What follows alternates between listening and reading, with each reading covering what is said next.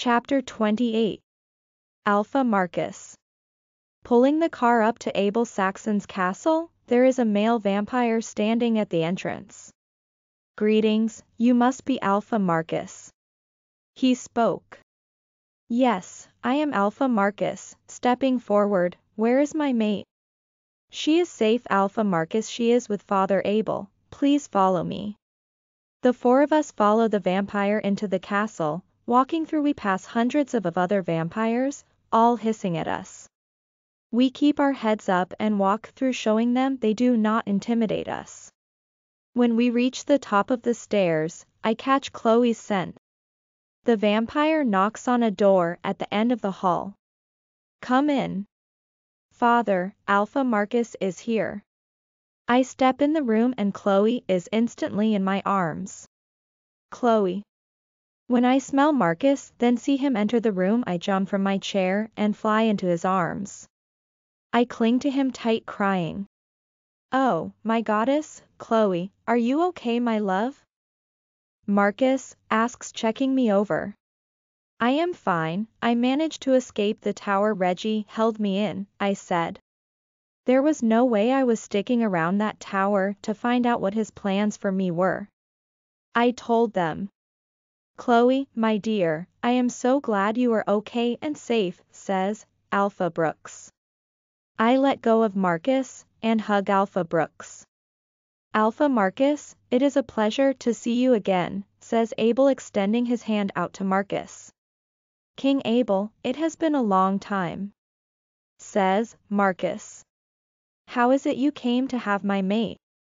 Your feisty little mate wandered onto my coven, she showed me no threat being a lone wolf, so I brought her here to explain what she was doing here, said Abel.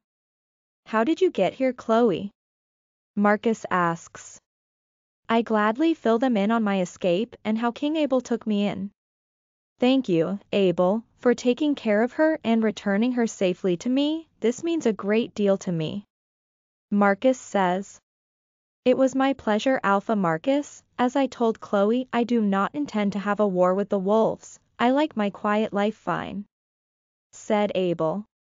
Marcus laughs. You always did old friend, you always did. I grab onto Marcus again never wanting to let go. He kisses my head holding me tight. I was so scared I had lost you forever my love, I love you so much. I missed you, too, I just want to go home, I say. You will, my love, you will. Before you take your leave, Alpha Marcus, I would like to have a word with you. Says Abel. Of course, Abel. Says Marcus. My daughter Penny showed up here today, said Abel. I thought you banished her years ago, says Marcus. I did, and I have not heard from her since that day, not until today when she showed up asking for her mother's spell books. Abel informs him. I see, says Marcus. She has done something horrible to your family, I was unaware of. Said Abel. And what would that be besides marring my father for his money? Marcus asks. I knew my daughter wanted revenge on your father for killing her mother, said Abel. But I have just been informed today how far she actually went. You see my daughter had put on spell on your father which made him kill your mother with no control of his own. It appears when I ratted her out on being a witch, she lost the grip she had on your father, the spell was broken once she disappeared from the room, that is why he had fainted. I spoke. Now, she is after her mother's spell books to make a stronger spell to come after me for losing her crip, I said it. I watched the look on Marcus's face. You mean to tell me, my brother and I banished our father, and hated our father for something he had no control over? Asked Marcus. It would appear that way, said Abel. This is bullshit, Damien shouts. I was here, Damien, I heard it from her myself, I said. Penelope was just beginning to learn from Martha when Alistair killed her. She wanted revenge and turned to the dark magic in Martha's books, so I hide them from her. She is not very strong in the dark magic, but she knows enough to cause mischief I am afraid, said Abel. I let go of Marcus and stepped towards Abel. Wait, are you talking about Martha Saxon? I asked. Yes, she was my wife, my mate and Penny's mother, said Abel. That was, until that day seven years ago when Alistair killed her. Says Abel. No, he didn't, I said. I am afraid he did, my child. Abel says. No Abel Martha Saxon was the witch healer of my pack the Opal Moon pack. She had a scar on her right cheek another which gave her. I said, what? How long ago was she the healer of your pack? Asked Abel. My father Corvin Slater, found her near death at the east border of our territory seven years ago. She had no memories of her life other than being ambushed by a witch named Raven. My father took her in and gave her a place to live helping heal people. I spoke. No, you must be mistaken my child, you must be speaking of another woman, says Abel. He is right Chloe, my dad did kill his wife Martha, says Marcus. No, I am sure of it. She would spend days trying to come up with a spell to help her remember her life before this witch Raven had attacked her trying to kill her. I say. Raven? My dear God it was Raven who told us Alistair Crane had killed Martha. You mean to tell me my wife has been alive all these years not knowing who she was? Yes, but now I am afraid she is deceased, my uncle Victor Quinn had rogues kill my parents and our entire pack three months back. He was even trying to kill me as well, that is how I came to meeting my mate, by running for my life, I told him. All this time, all these years my beloved was alive and well with no memory of us, and we blamed the wrong man for her death. Abel slams his fist down on his desk. Then that would mean my mother was murdered for nothing, our family ripped apart for nothing, said Damien. Who is this Raven? Raven was Martha's own sister, says Abel. Where is this Raven now? asked Marcus. She is the leading cause of all this. My wife's sister has not been seen since informing us of Martha's death seven years ago, said Abel said. After a few more hours of discussing the events and everyone again making sure I am okay we get ready to leave Abel's coven. I walked up to Abel and hugged him. Thank you for helping me, keeping me safe and returning me to my mate, I said. My pleasure feisty one, never lose that, he smiles. King Abel thank you again, we will be in touch soon, says Marcus. King Abel, you have my gratitude as well for helping Chloe, she is like a daughter to me. Says Alpha Brooks. It is nice to know not all vampires are horrible beings and we can coexist. Indeed, says Abel. We wave goodbye and head home. Penny, Penelope. I need mother's spell books. I must make all of them pay for taking my mother and now the man I love from me. You should have been on my side, father, you should have given me the books. Then perhaps I can help you. I turn around, and standing there is Aunt Raven? I run and embrace her, where have you been? It has been years since we last seen you, I say. I have been living in the mountains, but I have been keeping a close eye on you my dear, and with my training child, you can get the justice which you seek, says Raven. You're willing to train me Aunt Raven? Even the dark arts? I ask her. Of course my child, the darker the better, I tried to teach your mother, she but she did not want to deal with the dark side. She was too weak and scared, but you, you I feel the darkness in. Come with me to the mountains, I will train you, and when you are ready and the time is right we will get your justice, Raven says with a smile. I take the hand of my smiling aunt. Let us begin, says Raven. King Abel. If Chloe is right and Martha was alive, then Raven is the cause of all this. You called for me, my father. Bowed, a male vampire. Yes Solomon, I have been given some information, I will need you and five others to head to the old Opal Moon territory. Find any evidence to prove my wife had been living there. I tell him. Yes, my father. Says Solomon. Also see if anyone knows the whereabouts of Raven Miller. You have explaining to do Raven. Chapter 29 Chloe. For the past two days Marcus has refused to leave my side if he must he has Alex shadow me around. I am heading to the hospital to see if there is any change with Alistair, Afternoon, Luna, and Beta. The nurse behind the desk greets us. Afternoon, is there any change in Alistair Crane today? I ask, no, I am sorry, Luna, no change, the nurse says. Oh, well, I am just going to pop in and sit with him for a while if that is all right? I ask her. Certainly, Luna, she responded, Alex, there is no reason you have to sit with me in the room, I will be fine, I said. Go ahead and do what you need to do, I will mind link you when I am ready to leave here okay? You know I am not supposed to leave your side Luna, said Alex. Marcus will kill me. It is fine, Alex, I will deal with Marcus, I told him. After a couple more minutes of arguing with Alex to leave, he finally gives in and leaves. I as watch as he exits the hospital before I turn back to the nurse. Sorry to bother you, but could you please ask a doctor to come see me? I asked. Oh, are you all right, Luna? I am not sure I just do not feel myself at the moment, I answered. Come with me Luna, I will inform the doctor, right away. She speaks. Thank you, I said following her into a room. Moments later the door opens and, the doctor walks in. Afternoon Luna, I hear you are not feeling well, the doctor asks me. Since the night of my wedding ceremony when I was knocked out and taken, I have been having a lot of headaches and dizzy spells. I tell her. Okay, well let us run some tests and blood work and see what is going on with you, shall we? She says.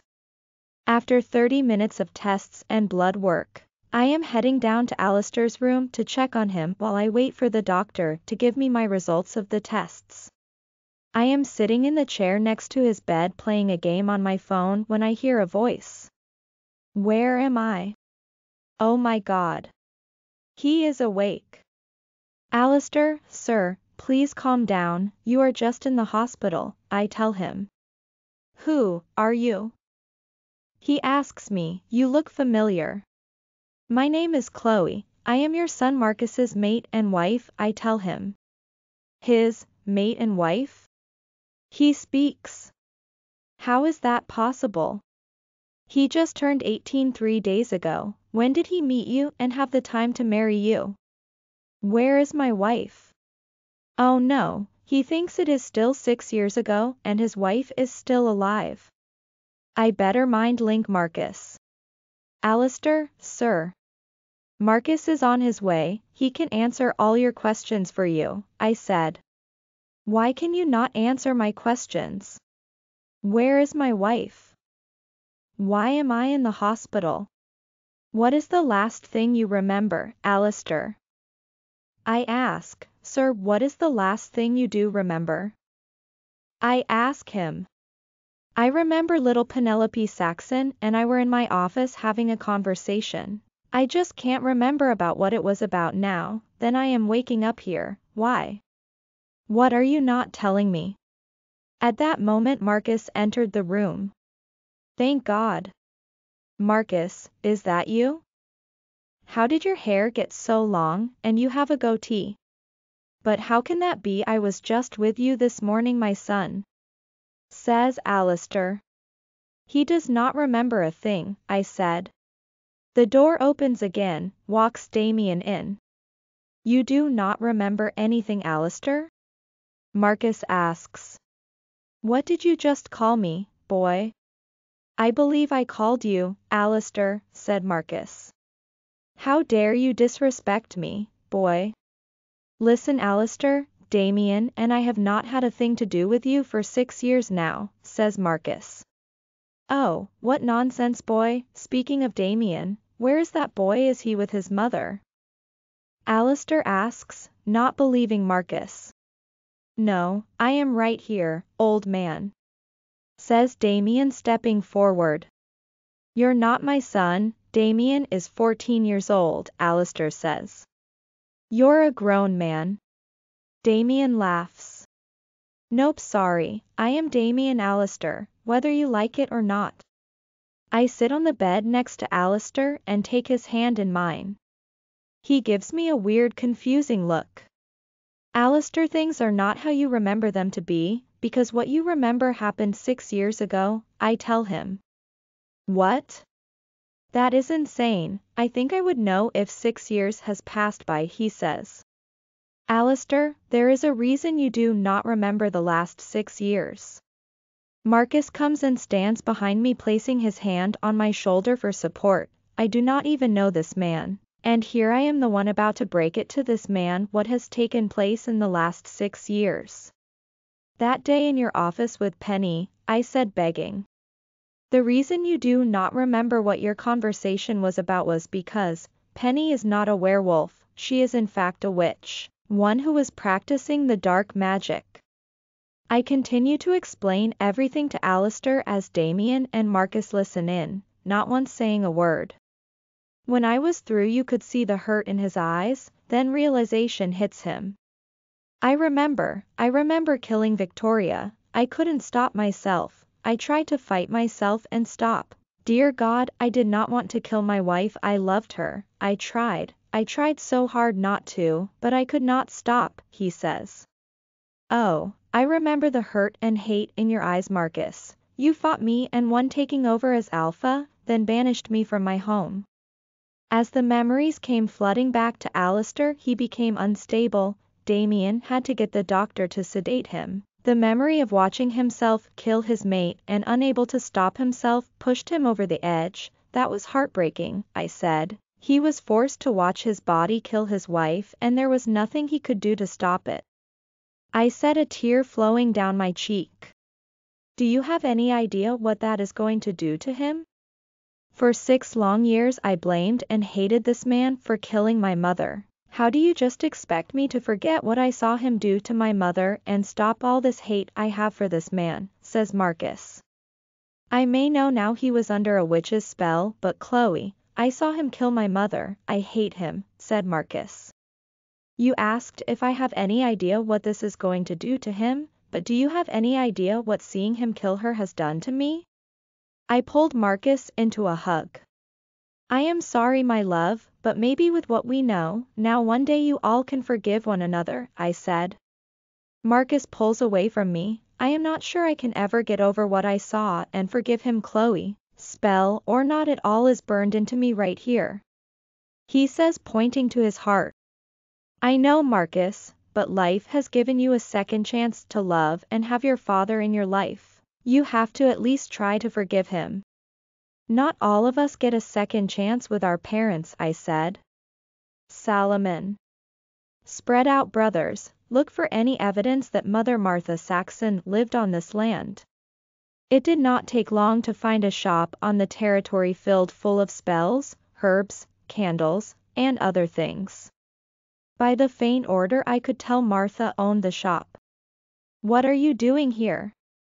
Get out, leave you have no business here. I heard a voice behind me. I turn around and standing there is a beautiful woman with black hair and green eyes. I sniff. Mother Martha? I ask, how do you know my name, she asks. How is it you are still alive? This pack was attacked and wiped out by rogues. I spoke. I am well aware of what happened to my pack. I just so happened to be out picking herbs that morning. When I returned, I found the devastation of what took place here, she says. You never answered my question, sir. How do you know my name? My name is Solomon. Your husband Abel Saxon is my sire. He has sent me here to find any sign of you, my dear. Husband? I do not have a husband. She speaks. At least, I do not remember having a husband. Please allow me to take you to him, perhaps your memories will return. I tell her. I do not know, I do not know you, how can I trust you or what you say? She asks, that is a risk you will need to take ma'am, but you have my word that no harm shall come to you. I tell her. King Abel. I am sitting in my study trying to read, I have read the same line six times already now, it is hopeless. I closed the book. I hope Solomon finds something, anything about my dear Martha. I get to my feet to pour myself a glass of blood. Then go gaze out the window. I can that Solomon's car is parked in the courtyard, he has returned.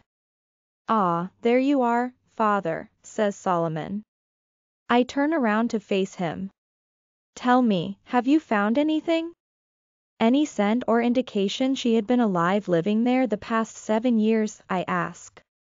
Yes, father, I have. Solomon moves to the side and in steps. Martha. Chloe. The past two days have been hard on Alistair and the boys. He was released from the hospital and has been staying on the alpha floor with us. Marcus is finding it extremely hard to be in the same room as Alistair. I am hoping one day things can be mended between them. Damien and Brooke were supposed to leave for college in six days, but took off back yesterday. Damien could not deal with his father being around and had to leave. The doctor has just called me asking for me to see her. My test results are back. So, I am heading over there now to see her. Afternoon Luna, the doctor is waiting for you, said the nurse at the front desk. Thank you, I say walk into the room the nurse points out to me. A moment later the doctor walks in. Hello, Luna, thank you for coming in. She says. I reviewed your test's results, and everything looks good. I believe the headaches are due to the concussion you sustained from the blow to your head, and it not being treated. She speaks. Just get plenty of rest and take it easy for a couple of days, and it should subside, if not come back and see me. Said the doctor. So, there is nothing to worry about then, I asked. Nothing serious I need to worry about? From the results no, there is nothing to worry about. But you can get some painkillers at the front for your headache to help when you leave, she says. Okay, thank you doctor, makes me feel better. I spoke. I head back to the pack house when I notice Alistair sitting alone in the garden. I head over to where he is sitting. Afternoon Alistair, how are you feeling today? I ask him. Oh Chloe, hello, I am still adjusting and dealing with everything I have done, my sons hate me, my mate is dead. I take a seat next to him and take his hand in mine. I am sorry this has all happened to you and your family, you are not alone, and I have faith that one day things will get better between you and your sons. We just can't give up, I say. My son is a lucky man to have a mate like you, Alistair says. I hope he knows that and never takes your for granted. I think I am going to have a little nap now, I am after all an old man now. He says, with a little laugh. I walk him to his room then head off to find Marcus. I walk into his office. And find him on the phone. I take a seat and wait for him to finish. It only takes a couple minutes before he is saying goodbye and see you tomorrow. Hello, my love, Marcus says, getting to his feet coming around the desk to kiss me. Are you going somewhere, tomorrow? I ask him, oh no, that was Abel on the phone he will be coming here tomorrow to talk to us. He speaks. Oh good, it will be nice to see him again. I spoke. In the meantime, I have two hours before my next meeting, I think we should fill that gap, he says to me kissing my neck. Mmm, I moan what do you have in mind Alpha? I giggle. Before I knew it, I was tossed on the couch in his office, and he was removing my clothes. Chapter 30 Chloe The gatehouse has just linked me babe, Abel is here, Marcus tells me. I join Marcus outside to greet Abel. King Abel, welcome it is a pleasure to see you again. Marcus greets him. Thank you, Alpha Marcus, greetings Luna Feisty, it is a pleasure to see you again as well, says Abel. I laugh at the name he has called me. Hello, Abel, it is nice to see you as well, I said. Wait. I said sniffing the air. It cannot be, I said. Chloe, dear, what is it? Marcus asked. I noticed a smile on Abel's face. Martha? I asked. A black-haired woman steps out of the car. Oh my god, Martha it is you, I said. Chloe? You're alive? Said, Martha shocked. How are you alive, Martha? I thought the whole pack was murdered, I said. I had left the early that morning to go pick more herbs I needed, when I returned that night. I found the territory destroyed and on fire, there were rogues everywhere so I hid, said Martha. I thought everyone was dead as well, oh Chloe, I am so sorry I was not there to help everyone. She speaks. I was not there either, I left early myself and returned to find them all dead, I said. Martha embraces me in a hug. Please, let us take this up to my office, Marcus says. Once in office, Martha speaks. Abel's men found me a couple days ago in my shop, you know. Chloe, when your father found and took me in, I remembered nothing of who I was. Abel has given me my books, I used a spell to regain my memory, I remember everything. Martha says. I remember my sister Raven was in love with a werewolf, but she said he never noticed her. He ignored her one day when she approached him asking him to prom, she said he laughed at her and walked away, she was furious. Embarrassed, she came to me asking for help in getting even with him, I refused. That is when she attacked me, she said I failed her like everyone else. Who was this werewolf who made her so bitter? I asked, she did not give me his name, just that she wanted revenge, is had always been interested in the dark magic. I am sure she is very skilled in the dark magic now. She started reading into dark magic at the age of 10 she begged me to join her, but I turned her down, told her it was not something to mess with anyway, I was already a wife and mother when she asked me for help getting her revenge. When I told her to grow up, and move on the boy was not worth it, it infuriated her. That is when she attacked me using dark magic on me, that is all I remember till your father found, and took me in. She tells us. Raven took my wife away from me for six years, all over something so juvenile, she ruined my family. I disowned my own daughter because she wanted revenge on the wolves for killing her mother, said Abel. She also cost me my mother and father, said Marcus. All this, because someone laughed at her? I placed my hand on Marcus to calm him down, only he was not calming down and moved away from my touch. Where is she, now? Asked a furious, Marcus.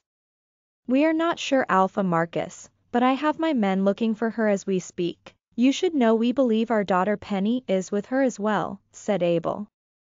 I believe since she framed your father Alpha Marcus, the wolf has to be part of your pack. We also believe we haven't seen the end of her revenge or Penny's, says Martha. Raven. No, no, no, you are not doing it right. If you want to master the dark magic you have to be exactly right, I tell her. I am trying, I just want to learn fast and get Alistair back, said Penny. Foolish child, dark magic or any magic for that matter is not something you learn fast. Now, concentrate, you fool and try again. This is going to take longer than I hoped, but once she has it all down, we will get our revenge. Then no one will ever cross me again. A month later and there is still no sign of Raven or Penny. Abel calls once a week with updates, but so far there is nothing really to report. Now Marcus is out for a run with Alistair. They are trying to gain a bond again, but it is going slow. I am just leaving the hospital after doing some more tests, I have not been feeling well again. Hey Luna, how you are doing? Harper, I said running to give her a hug. What are you doing here? I asked her. What? I need a reason to visit my best friend. Harper says, Of course not, it is so good to see you. How is your father? I ask. He is good, he is also here as well, he has a meeting with Marcus. Harper says. Ah see, you do have a reason for being here. I laugh. We walk towards the pack house catching up with one another, when I see Alex talking to Alpha Brooks, Papa Richard, I yell running to him, Harper laughing behind me. Chloe, my dear, how have you been? He asks pulling me into a hug. Other than these dizzy spells and headaches I am rather good, how are you? I ask. He puts his arms around both Harper and me, now that I am with both my girls, I am one happy man, he says. Since Alpha Brooks filled in as my father walking me down the aisle at my wedding, we have become close. He calls me twice a week to see how I am doing and if I need anything. It is nice having a father figure in my life again, he means so much to me. And even though Harper first started out being a bitch towards me and was Marcus's lover, we have become best friends, like sisters. Alex, have you informed Marcus Alpha Brooks is here? I asked him. Yes Luna, he is on his way, answered Alex. I am a bit early, dear. Harper could not wait any longer to see you. Said Alpha Brooks. Well, then if Harper and I are not needed in this meeting then I say we hit the pool, I said. Are you crazy, girl? It is the middle of October it is cold out here, said Harper. No, I am not crazy, I am talking about the inside pool silly, I said. What? What inside pool? Asked Harper. The one I had installed weeks ago, so I can still swim in the winter, I said. Hell yeah, let's go. Harper says heading for the house. Three hours later, Harper and I are heading to the kitchen for lunch when my phone goes off. Oh, you go ahead, Harper, I will meet you there in a moment. I have to take this, I tell her. Hello? Hello Luna, this is Dr. Hardy. Hello, doctor, what can I do for you? I ask. I am calling about your test results, Luna. She speaks. I was not expecting to get them back so soon. Oh already, I thought it would take a couple days. I spoke. So, what is it doctor, is something wrong with me? No, nothing is wrong with you Luna, you're extremely healthy, but you are also pregnant Luna, she says. I was speechless, was I hearing her right? Hello, Luna are you still there? Did you hear me? Ah, yes, I am still here, I said. Pregnant? Are you sure? Yes, Luna, I am positive I ran the test twice myself, the doctor says. Wow, um, thank you, doctor. Luna, are you okay? Did you need to talk to someone? No, I am fine, it is just after the first pregnancy and the miscarriage I guess I am just a little in shock and a little scared. I speak. That is perfectly understandable Luna, I would suggest talking to your therapist, it will help you with this. Okay yes I will, thank you, doctor. You're welcome Luna, my door is always open, and congratulations Luna. I will have my nurse book an appointment for later this week. Okay, thank you. End of call. I walk over to the chair in the corner and sit down. I am pregnant. I am pregnant, fear starts to take over my mind. I am still not fully over the miscarriage. And now here I am pregnant, I am getting another chance to become a mother, but then what if I lose this one too? Will Marcus leave me this time? Do I even tell him I am pregnant? Should I wait? I do not know what to do. I hear voices coming down the stairs. One of them is Marcus. I cannot breathe. I must get out of here. Hello, Chloe, my love. says Marcus. I looked up at him. Chloe, what is it? You are shaking and pale honey. What happened? asked Marcus.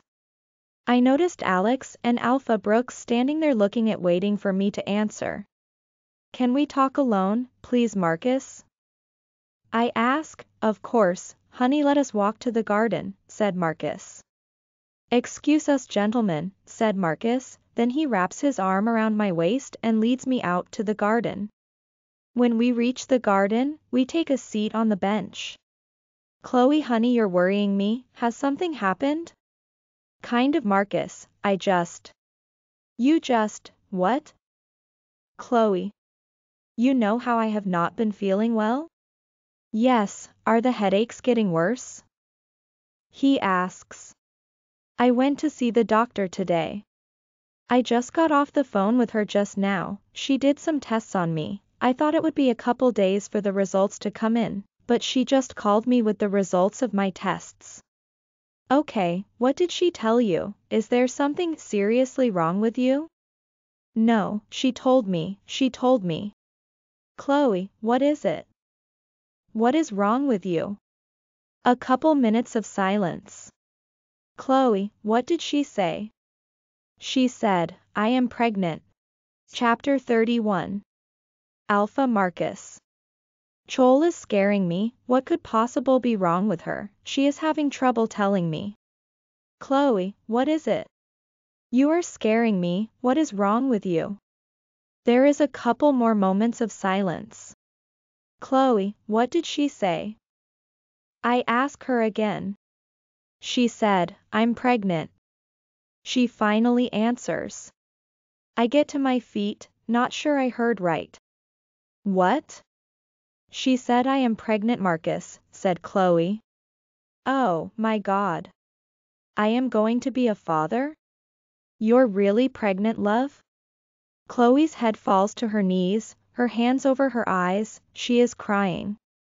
Why is she crying? This should be happy news. Chloe, sweetheart, what is it? I ask her. Why are you crying?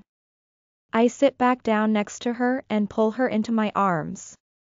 Baby talk to me, I thought you would be happy to be carrying our pup, I said. I am Marcus, she says, lifting her head to look at me. It is just, I had a miscarriage with our first pup, I still ache for my baby, I am scared Marcus. I am afraid I might lose this baby as well, Chloe says. Oh, Chol baby, I am sorry, I was not thinking about how this would affect you, I am sorry, I tell her.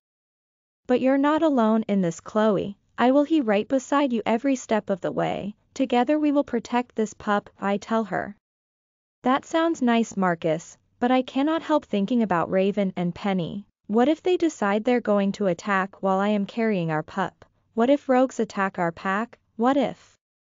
Whoa, whoa, whoa, Baby calm down, you cannot live your life by what ifs. It is not healthy to live that way, I tell her. You cannot stress yourself out, it is not good for the baby or yourself, this is a good thing Chol, we are having a baby, we should be celebrating baby. You are right, I am sorry Marcus, she says. I am extremely happy I am pregnant with our pup, I really am, but at the same time I just cannot help having theses fears. I get that, I do my love, and you have a right to have your fears, but we need to fix and work together on your fears. Stress is not good for the baby, I say. I know, the doctor wants me to see the therapist again to help, she says. Then I agree you should talk with her, and you have me and the pack beside you. I promise I will not allow anything to happen to you or our pup, you have my word.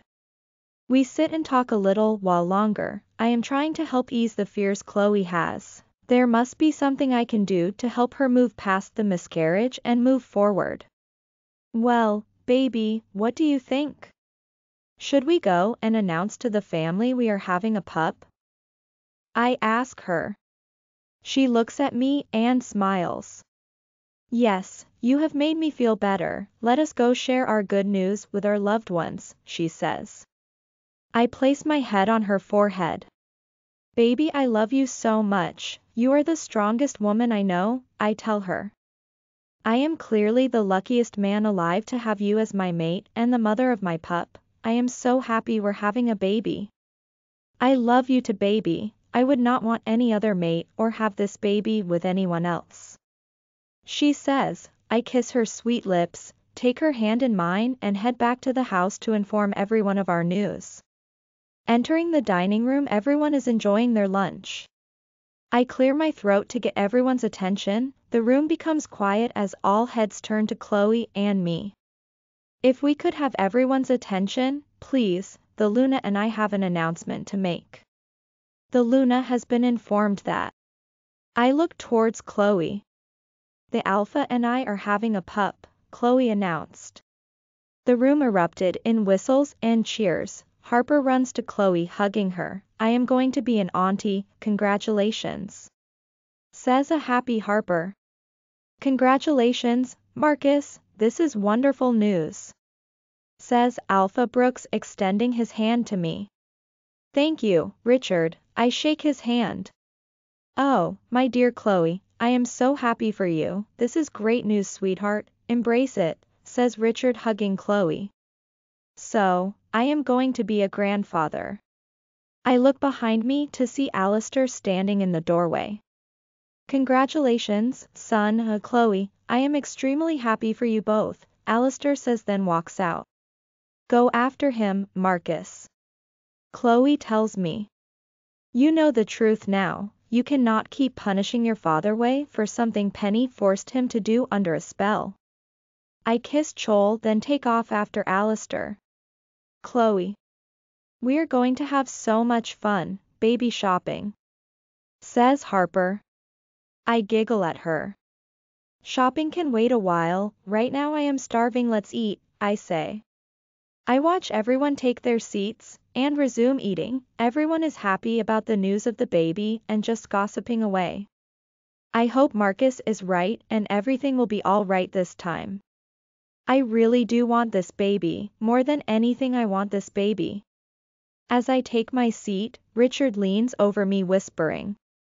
I see the stress and worry on your face my dear, I know you are afraid because of last time, but you need to remember you did not know you were with a child when you fought your uncle, you are not fighting anyone now. This is not the same situation as last time my dear, like I said my child embraces your pregnancy. Be happy this is a wonderful thing, Thank you, Richard.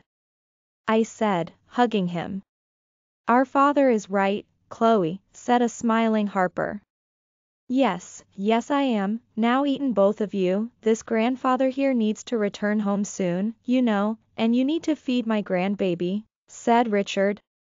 How did I get so lucky to be accepted as family by them? Instead of a brother, I have a sister and a father figure in my life.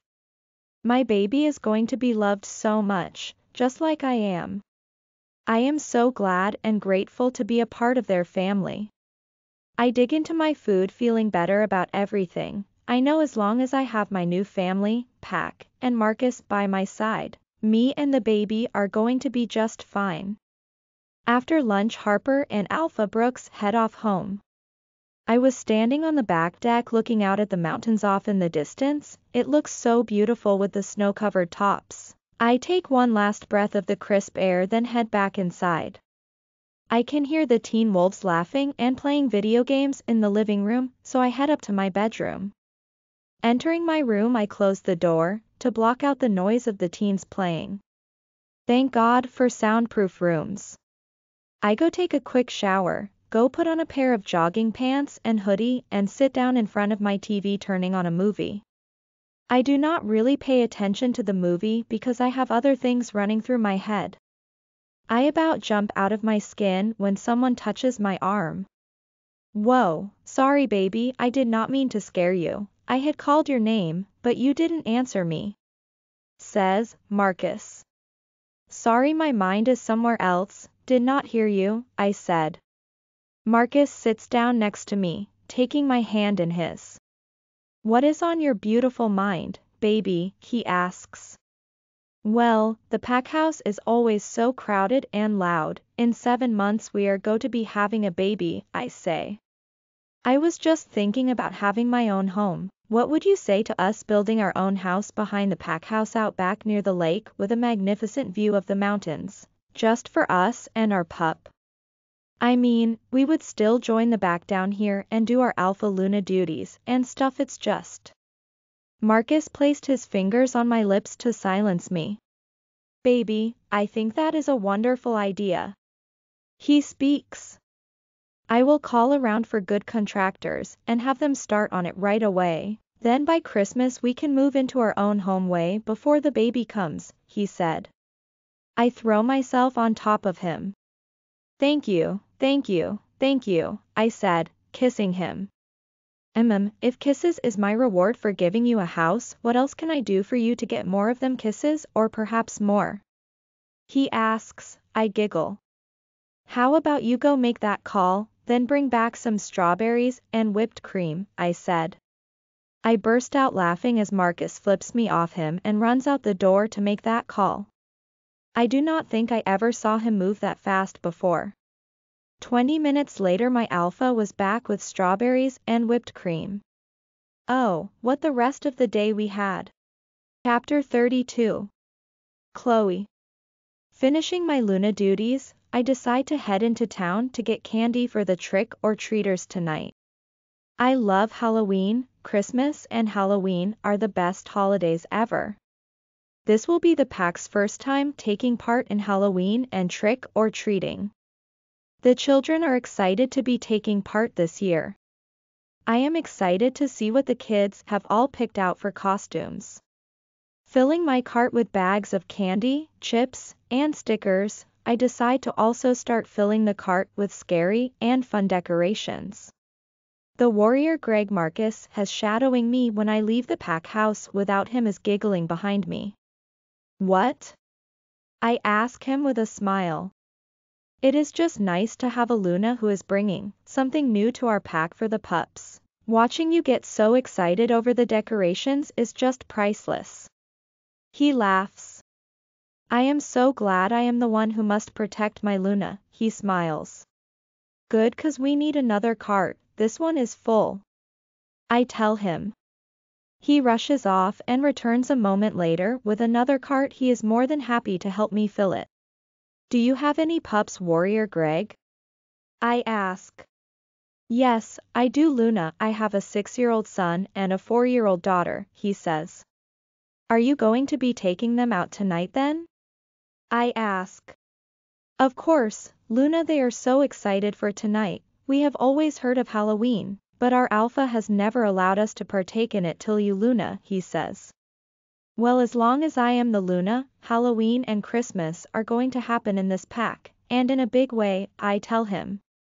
Did your pups pick out their own costumes? My wife took them yesterday, they wanted to sleep in them they're so excited, he said.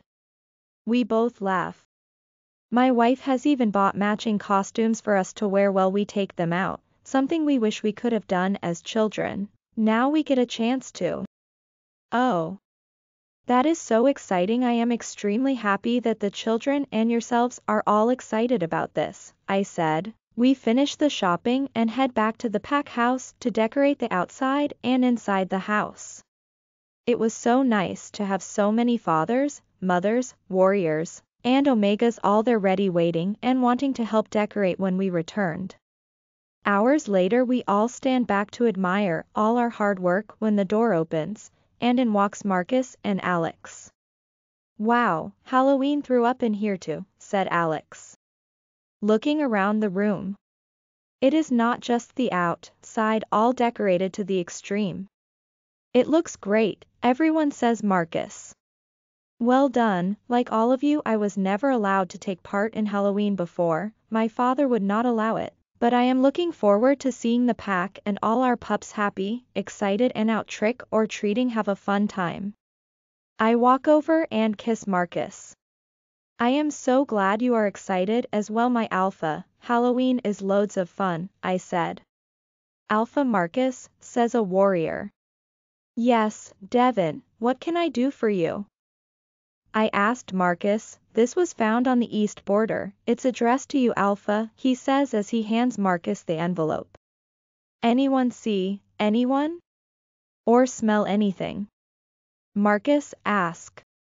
No, Alpha, it was found nailed to a tree. Very well, thank you, Devin. Said Marcus.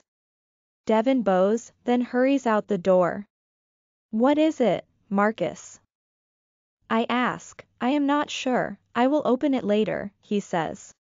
Please open it now, Marcus, I say. Dear I can do it later in my office, right now we are getting ready for the pups to arrive for their treats, he says.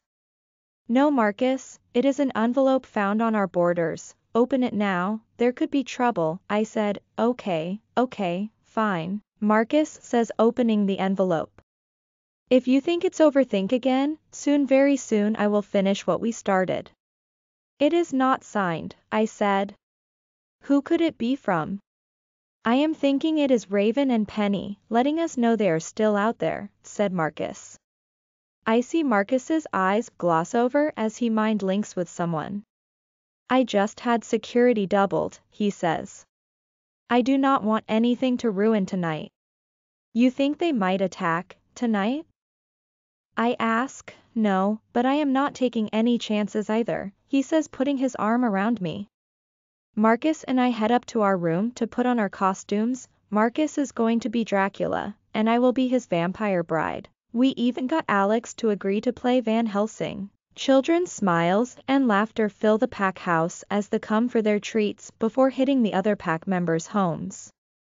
As much as I was enjoying myself, I could not help but think about that letter. By 9 p.m. all the kids were done trick or treating and tucked away in bed. While their nanny or grandparents look over them, the rest of the adults were in the ballroom for the Halloween party. The costumes were unreal, Marcus and I had to pick the best custom for the grand prize. We both were having a tough time cause these costumes were great. By the end of the night, we decided on the guy dressed as the horror movie charter Pumpkinhead. He looked so real. As the last of the pack members leave, I head up to take a shower. I find Marcus lying on the bed already snoring by the time I finish my shower. I smile and pull the blankets over him. I head down to the kitchen for tea. Good evening, Luna, is there something I can get you before I turn in? Asked the head Omega, Wendy. No Wendy thank you though, I am just going to make myself a cup of tea. All right, Luna, good night, she bows before taking her leave. Adding a little sugar to my tea I head out to the front porch to enjoy it in the October crisp air. Fifteen minutes later I drop my cup, it shatters on the porch, the smell of rotting flesh and stale blood fills my nose. Rogues. I quickly mind link Marcus, only he is not answering me, I try Alex. He answers right away. Get inside now, Luna, I am on my way.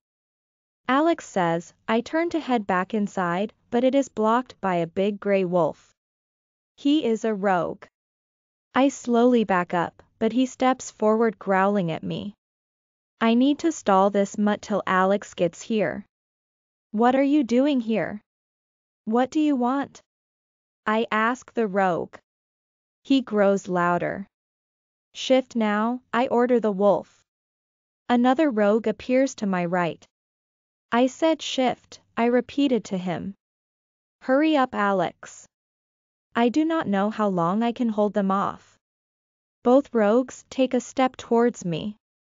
I was thinking of shifting to face them, but then I remember I cannot shift I am pregnant. I place my hands on my stomach, the gray wolf's eyes fall to where my hands are. He licks his lips and lunges at me. I hear a loud growl and a thud. Alex Gray and White Wolf has tackled the gray wolf before he could tackle me. I hear the growl of the other Rouge. This rogue was a female, she circles me, snapping her jaws. Alex is busy fighting the other rogue. More growls and yelps fill the air as our warriors have located the other rogues and were fighting. Where is Marcus? The female rouge charges at me, I must dodge left to avoid her teeth. I quickly take off for the front door pushing myself through it and locking it behind me. I have never run from a fight before, but being pregnant I cannot risk losing my pup again. I watch as the she-wolf rogue charges towards the front door, when a red wolf jumps in front of her taking her down. The red wolf mind links me, Luna quick inside the bunker now, he says, it is warrior Greg. I head for the bunker, push the code in and step inside hitting the button fast behind me so it closes. When I turned around the bunker is already filled with women and children in fear. Oh, thank God, Luna, you are safe, said a mother. Yes, thanks to Alex and Greg, I was able to make it here, is everyone alright? I ask. We are all fine, Luna, just frightened, the border patrol, warned us all in time. I thought about what the women just said. Why was I never warned about the attack of rogues? What, mind link? I asked, they all look at me weirdly. The mass mind link that Warrior Devin sent out, said a woman. I never got any mid link, no warning at all, I said. I was outside having tea when I smelled the rogues and two approached me, I said. Something is not right, why did I not receive the mind link and why can I not get through to Marcus? You all stay here till our men come for you, I said going to the door. Wait Luna, do not go out there, says a woman. You are pregnant it is too dangerous, I beg you please stay here with us Luna it is safe. I have to find the alpha, I said, opening the door and slipping out. Shut the door, I whispered back to them. Then I slowly make my way up the stairs, to find Marcus. I reach our bedroom and hurry in locking the door behind me. When I turn around there is a woman standing over Marcus, a blue light coming from her hands into Marcus's body. Who are you? I yell. She stops what she was doing and looks up at me. She laughs then in a flash of what light she was gone. I rush to Marcus's side. He was breathing, but I could not wake him up. I mind link Alex for help. Within minutes he is busting through the door, the rogue attack is over, they just stopped fighting and fled, said Alex. Listen, Alex, we need to get Marcus to the hospital now. I spoke. Alex picks up Marcus taking off towards the infirmary with me right on his heels. Raven. Well, did it work? Penny asked me when I made it back to our hideout. That stupid Luna showed up in the middle of my spell, I just what I did was enough. I guess, we will soon find out, either way we have more work to do. Chapter 33 Chloe A week ago, Alex and I rushed Marcus into the hospital after I had found a woman standing over him with some kind of blue light coming from her hands. The doctors do not have any idea why he has not woken up. They say his vitals and all his tests have all come back normal. They cannot find a thing wrong with him to explain why he will not wake up. I sit by his bedside day and night praying to the moon goddess he will wake up and be all right. I refuse to leave his side so at night the nurses give me a bed to sleep in next to him. Alex has been an immense help with the pack. He has stepped up his beta duties and is keeping up with the alpha duties while I stay with Marcus. I look up as the nurse enters the room to check Marcus's vitals again. Is there anything I can get for you, Luna? She asks me, they have all been so kind to me. No, I am good thank you, Beta Alex had brought me lunch and some tea already, I said. Very well Luna, just let me know if you need anything please, she says, then exits the room. I must have dozed off because hours later I was startled awake by the nurse coming in again. Luna Chloe look, she says pointing to Marcus. The alpha is awake, she pushes the button next to his bed to inform the front desk. I shot out of my chair taking his hand. Oh, thank heavens baby, you are finally awake, how do you feel? I ask him, I beg your pardon miss, but you will address me as Alpha Knight not baby. He speaks. What? Why would I call you Alpha Knight? I've never called you Alpha Marcus, I said. Miss, I warned you once I will not repeat myself. He speaks. Alpha, says the nurse. Do you not know who this woman is? No, should I? He asked her. I am the alpha of this pack, I know every member of my pack, and she is not a pack member. I will get the doctor, the nurse says rushing out the door. Mark, Alpha, how can you not remember who I am? I ask. Because we have never met, miss, trust me, I would remember if I ever met someone as beautiful as you, he says. The door swings open and the doctor rushes in. Alpha, it is good to see you finally awake, how are we feeling, she asks him. A bit confused doctor, why am I in the hospital? Alpha, can you tell me what the last thing is you do remember, asked the doctor. I remember being informed there was a single lone she wolf trespassing on the west border, only we never did find her. She must have moved on quickly, he answers. But that was months ago Alpha, the end of February, it is now November 8th, I said. What? He speaks. You must be mistaken miss, today is February 23rd, said Marcus. Oh my god, that woman, she must have somehow removed his memories from that day forward, I said. You really do not remember me? I have already stated to you, miss, I do not know who you are. He answers annoyed. Alpha Marcus says, Doctor. This woman is Chloe, she is your mate, wife, and our Luna, she tells him. Marcus looks at her then turns to look at me, no, that is a lie, I do not have a mate, and this pack has no Luna. He speaks. Tears form in my eyes, my mate, the love of my life does not even remember me. For 30 minutes the doctor and I have tried to convince Marcus we were indeed mates and married, we even filled him in on what has taken place in the last nine months. But he continues to call us liars still not believing us. Listen, Dr. Hardy, I feel fine if there is nothing wrong with me, I would like to leave now. I have alpha duties that need my attention, Marcus says. Okay alpha, but I would like to run an MRI on you sometime in the next couple of days. In the meantime if anything feels weird or you feel unwell, please come back and see me. She told him. I will, just let me know when you need to do the MRI, he says as he is getting out of bed. Once he is on his feet, he says his goodbye to the doctor and leaves. I am sorry my Luna, the doctor says. I really do not know what to say, I will do my best to figure out why he has no memories of you or the last nine months. Thank you Dr. Hardy. I said, I gather my things and head back to the pack house. Everyone is buzzing about the alpha. I can tell by the pity looks on their faces they were giving me they all know about the alpha's condition. I head up to the office, I am hoping Marcus will talk with me. When I reach his office, the door is wide open, I am telling you Marcus Chloe is your mate and wife, says Alex.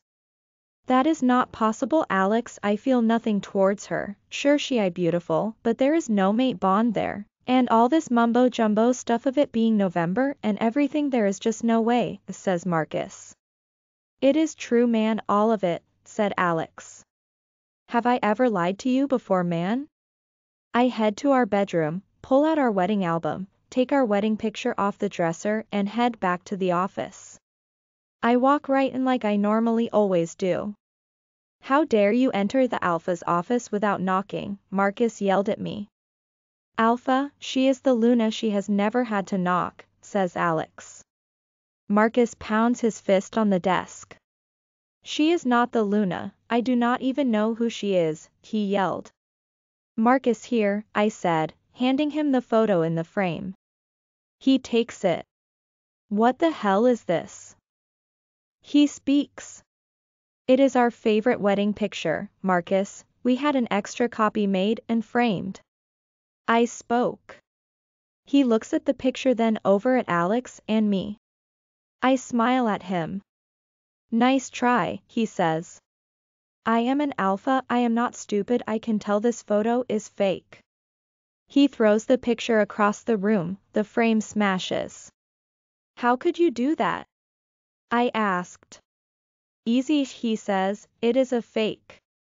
It is not a fake, we are mates and we are married. I yelled at him. Listen Chloe, was it? I am sure you are a genuinely nice woman and all, but I am just not your mate or husband, and you definitely are not the Luna, I am just not into you, okay? So please enough with all of this, I do not want to hear another word about it, he said. I pick up the photo album and walk out. Chloe wait, says Alex. No, it is fine Alex the alpha does not want to hear anymore. I spoke. Oh, and Alpha, I said without turning back around.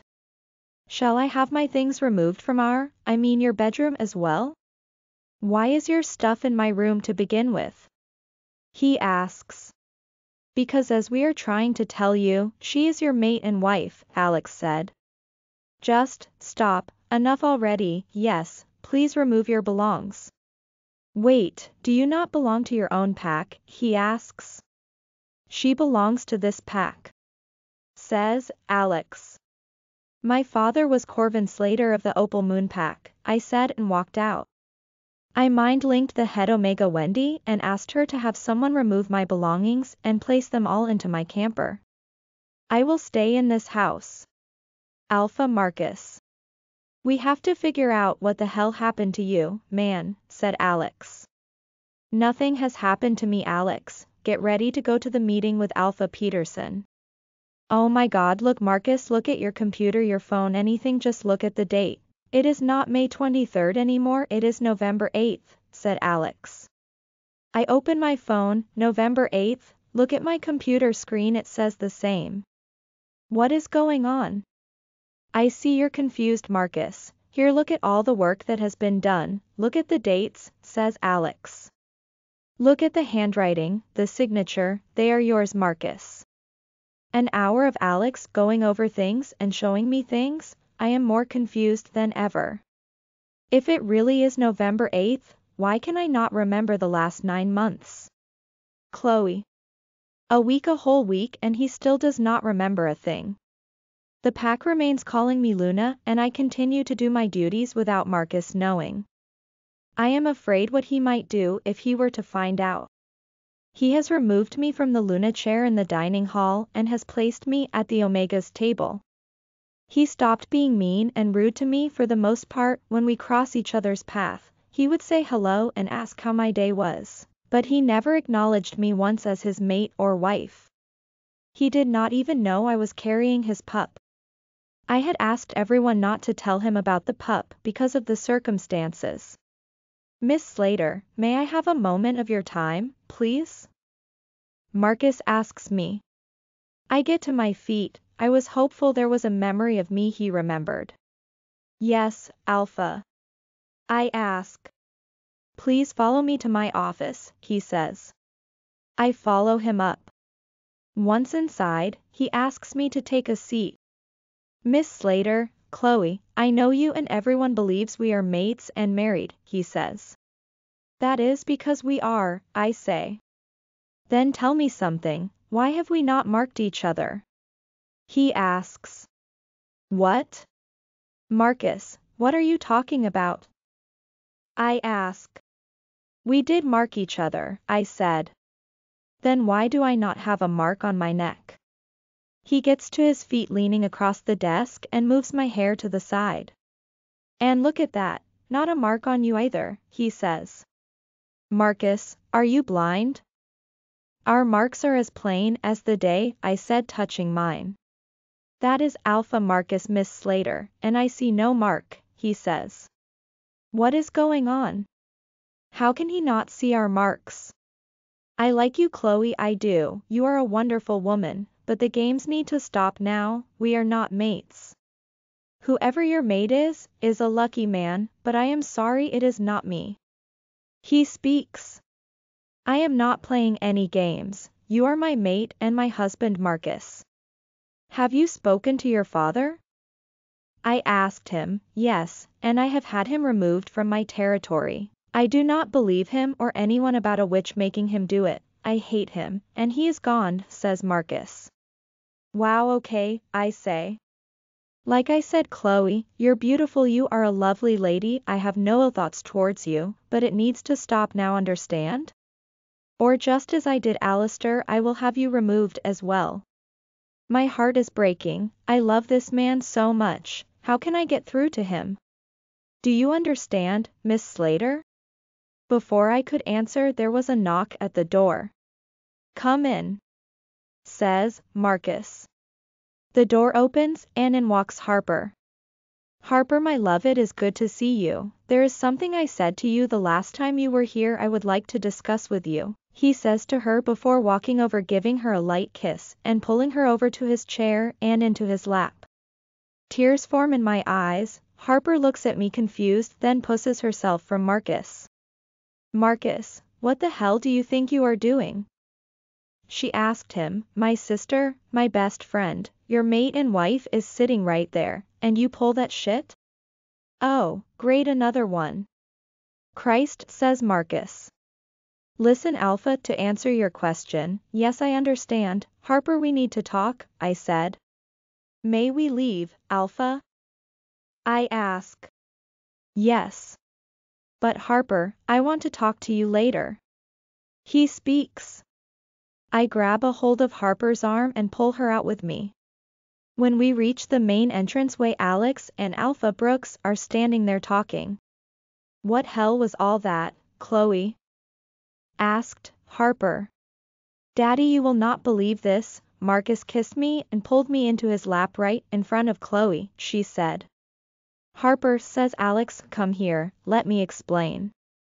As he pulled her aside, I break down crying, the pain in my chest from the kiss was still hurting. Nikita was still whimpering in my head. Come here, my dear, said Alpha Brooks, pulling me into a hug. Alex told me everything, I am so sorry. He speaks. I cried in his arms, just letting him hold me, I needed to be held. Oh my god, said Harper, who then rushed to my side, hugging me as well. Do not worry, sister, nothing is going to happen with Marcus and I, she says. I know I trust you, Harper. I speak. What is going on, here? We look towards the stars and see Marcus standing there looking at us. I was just saying hello to my foster daughter, said Alpha Brooks. Foster, daughter? Marcus asks. Yes, Chloe here is my foster daughter, Alpha Brooks says. Come, Alpha Marcus. Let us have a talk. Says Alpha Brooks. Harper and I spent the day together. I assured her I was not mad at her over what Marcus did. It was not her fault.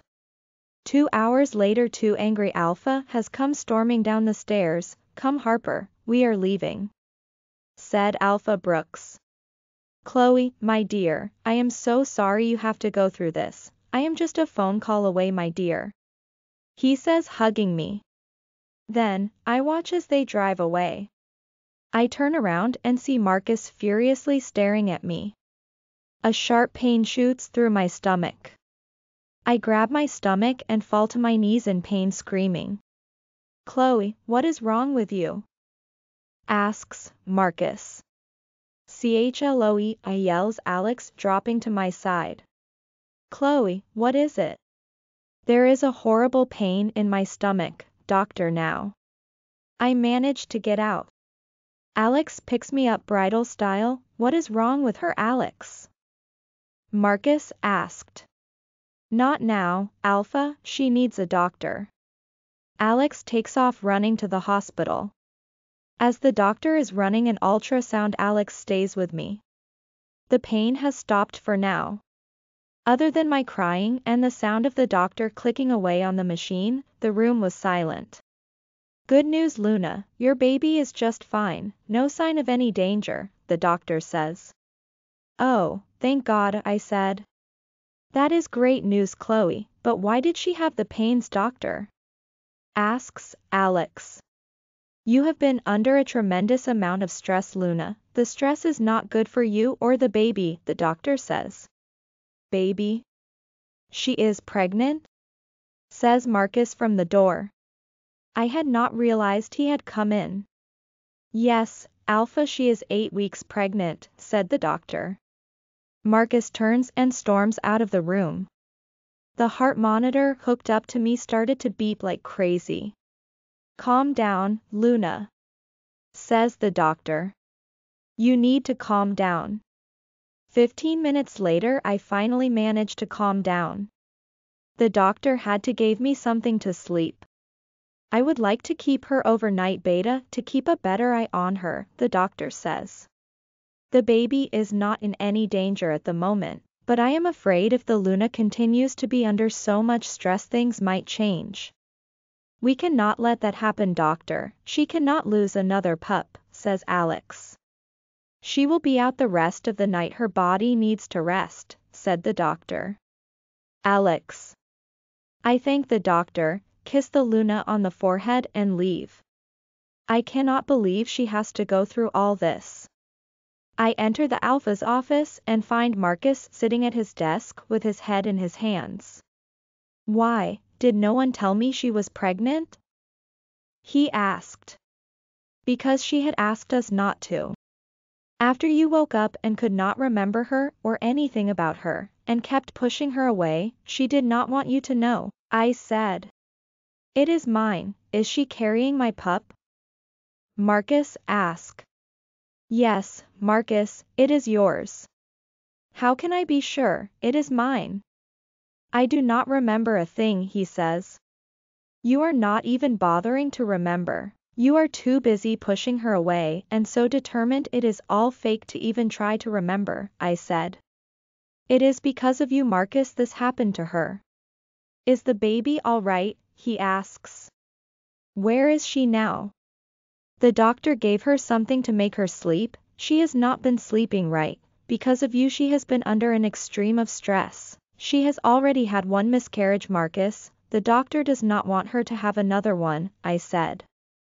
She was pregnant before and lost it? He asked, yes, back in June. Let me guess mine as well. Yes. The alpha started to laugh. You think it is funny. No, I would never think losing a baby was funny, but this is all lies. The note I received today told me everything I would be told would be a lie. Note, what note? I ask, never mind, it was addressed to me, he said. Look Alex, she seems like a nice woman, but she lies too much, she just wants me because I am the alpha, when she wakes up, I will be asking her to leave my pack and territory. What? No, Marcus, you cannot do that.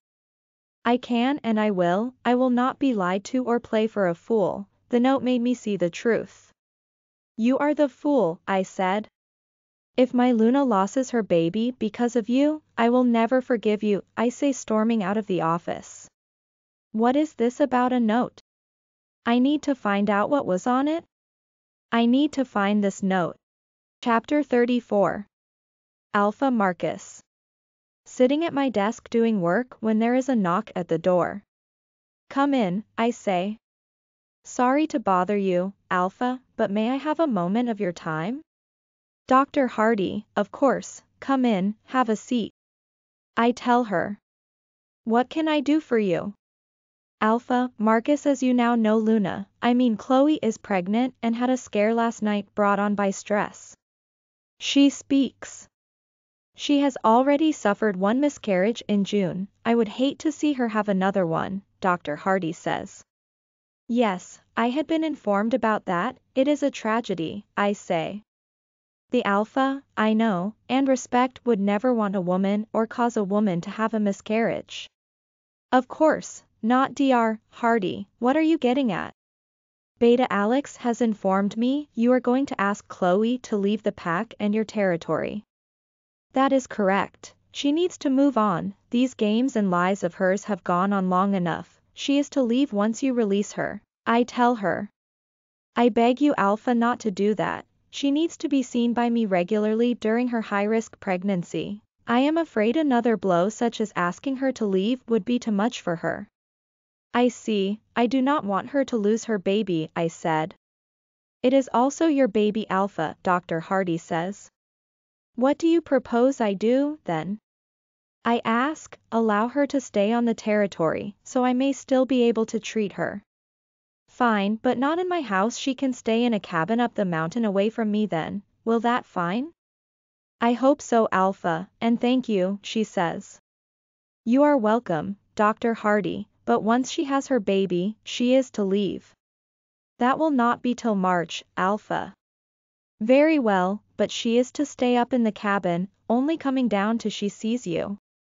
Very well Alpha, she says leaving. Chloe. He what? I ask, Alex. It is better than what he first wanted to do Chloe. And what would that be? He wanted you gone, off the territory, and out of the pack, doctor. Hardy talked him into letting you stay on the territory so she can monitor you, Alex says. He wants me gone. Yes, but he is going to allow you to stay in one of the vacation cabins up the mountain, Alex says. Well, now if that just so generous of the Alpha, I say. Listen, he told me last night he received another letter, and once he read it, he said he knew we were lying to him. He said the note confirmed it, said Alex. Something is up with these letters, every time he gets one, he changes towards you. Just let me find these letters and we can figure out who is doing this to him, said Alex. Did you know, he cannot see our mating marks? I ask, what? But how can he not everyone see them, I see your mark right now. For some reason he cannot see them, I said. That is messed up, we need to figure out what that woman has done to him and what these notes are all about. In the meantime come on my Luna, you can follow me up the mountain to your cabin. Chloe Alex, I said. Sorry what, Luna? Asks, Alex. It is Chloe Alex, I am no longer your Luna. Alpha Marcus does not know me or want me and now he is sending me up a mountain because the doctor asked him to allow me to stay, otherwise I would have been thrown out in the cold. Alex pulls me into a hug.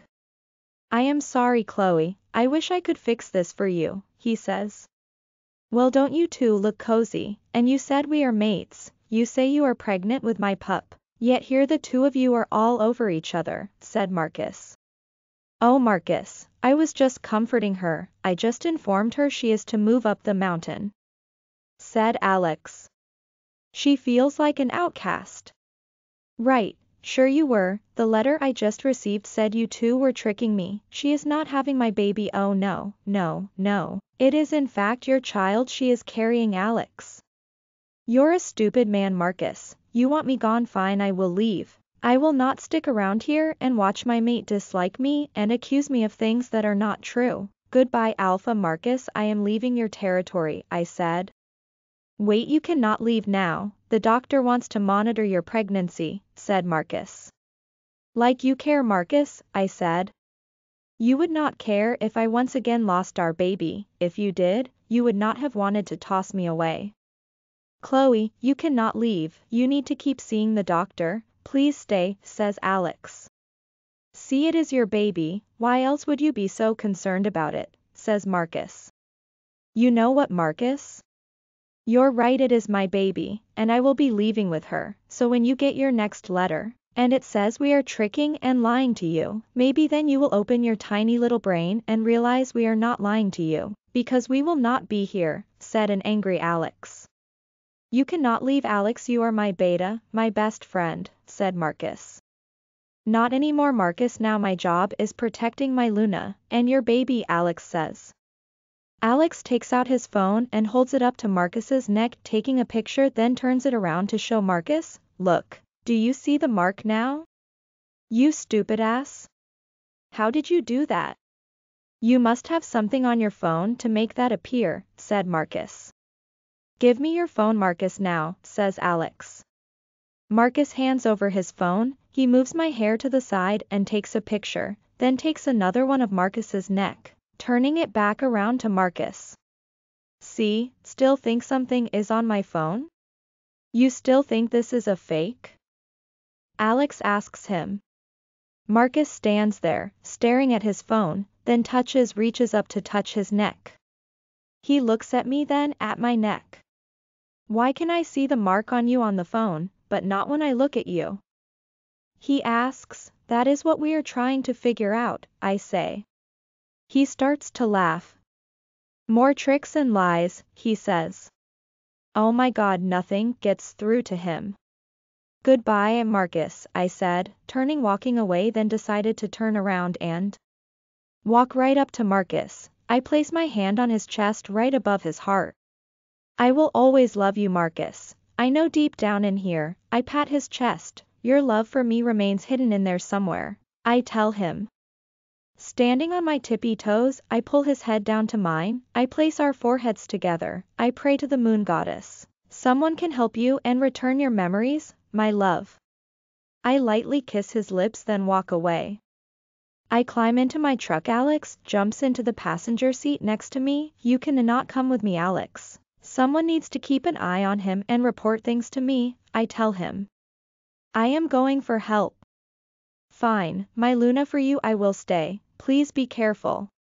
He leans over placing his forehead on mine, promise me you will be safe, if anything would happen to you or that baby, I do not know what I would do, he says.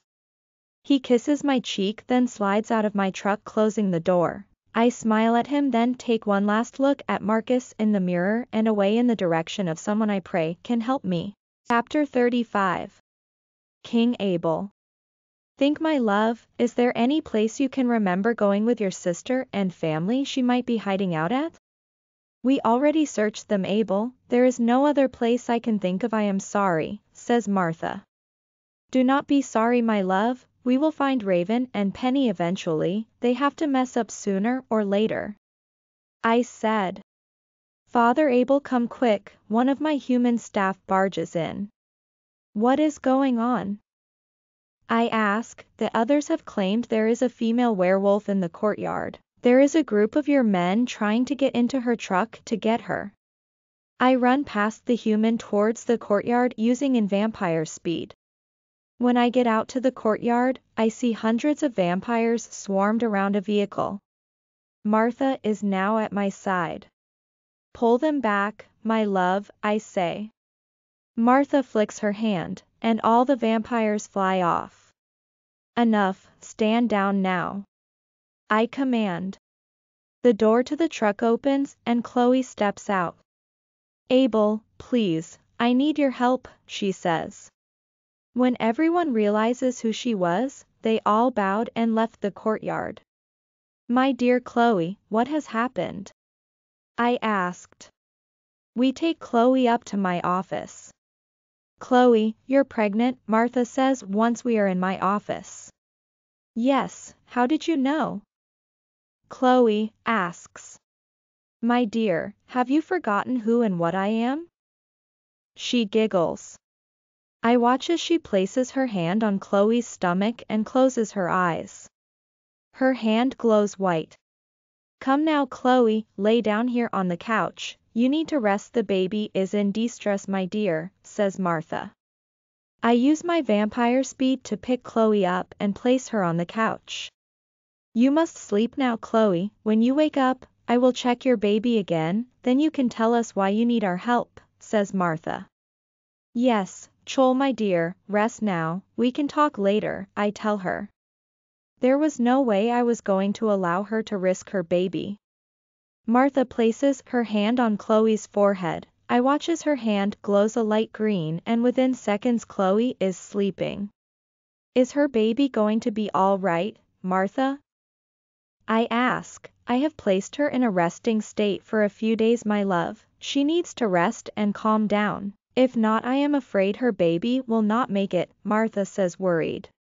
Whatever it is that is troubling her has to be extremely bad for her to risk her own baby's life. I will call Alpha Marcus, perhaps he can fill us in, I said.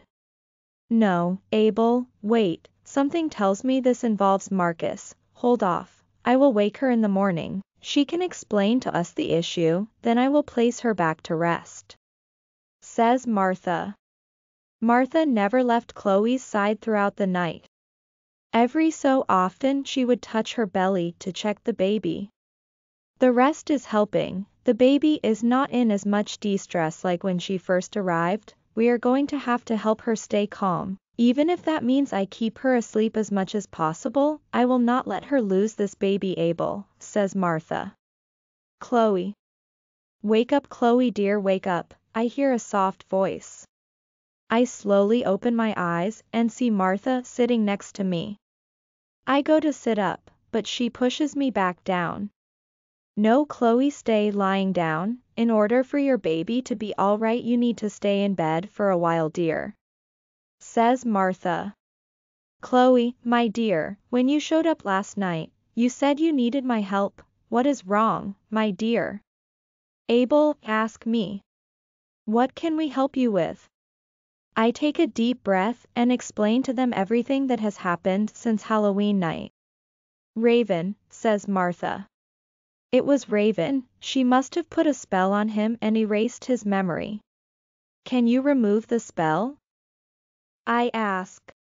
I would need to be near Marcus and figure out which spell she it was she used on him, says Martha. Then we need to go to him, I said, trying to get back up. No, lay still the Chloe, I will see if I can get Marcus to come here to Martha. Says Abel who hurries out of the room. Please Joel, just rest now, we will do all we can, says Martha. Abel. I slam the phone down. I cannot believe what Raven has done. My love, I have placed Chloe back into a resting sleep now, any luck with Alpha Marcus?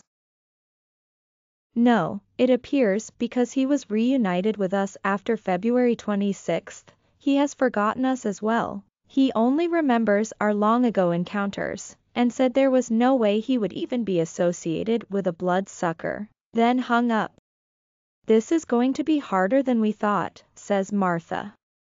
I am going to go to my spell room and get to work, there has to be something in my books to help. In the meantime I will keep Chloe asleep, there is no reason to keep her stressed and harm the baby. Good idea my love, good luck with your books, let me know if I can help. In the meantime I shall keep the sleeping Chloe safe. Raven. I am back Penny, I have just dropped off another envelope to the stupid Alpha Marcus. As long as he keeps reading my letters he will continue to be under my spell and not remember a thing.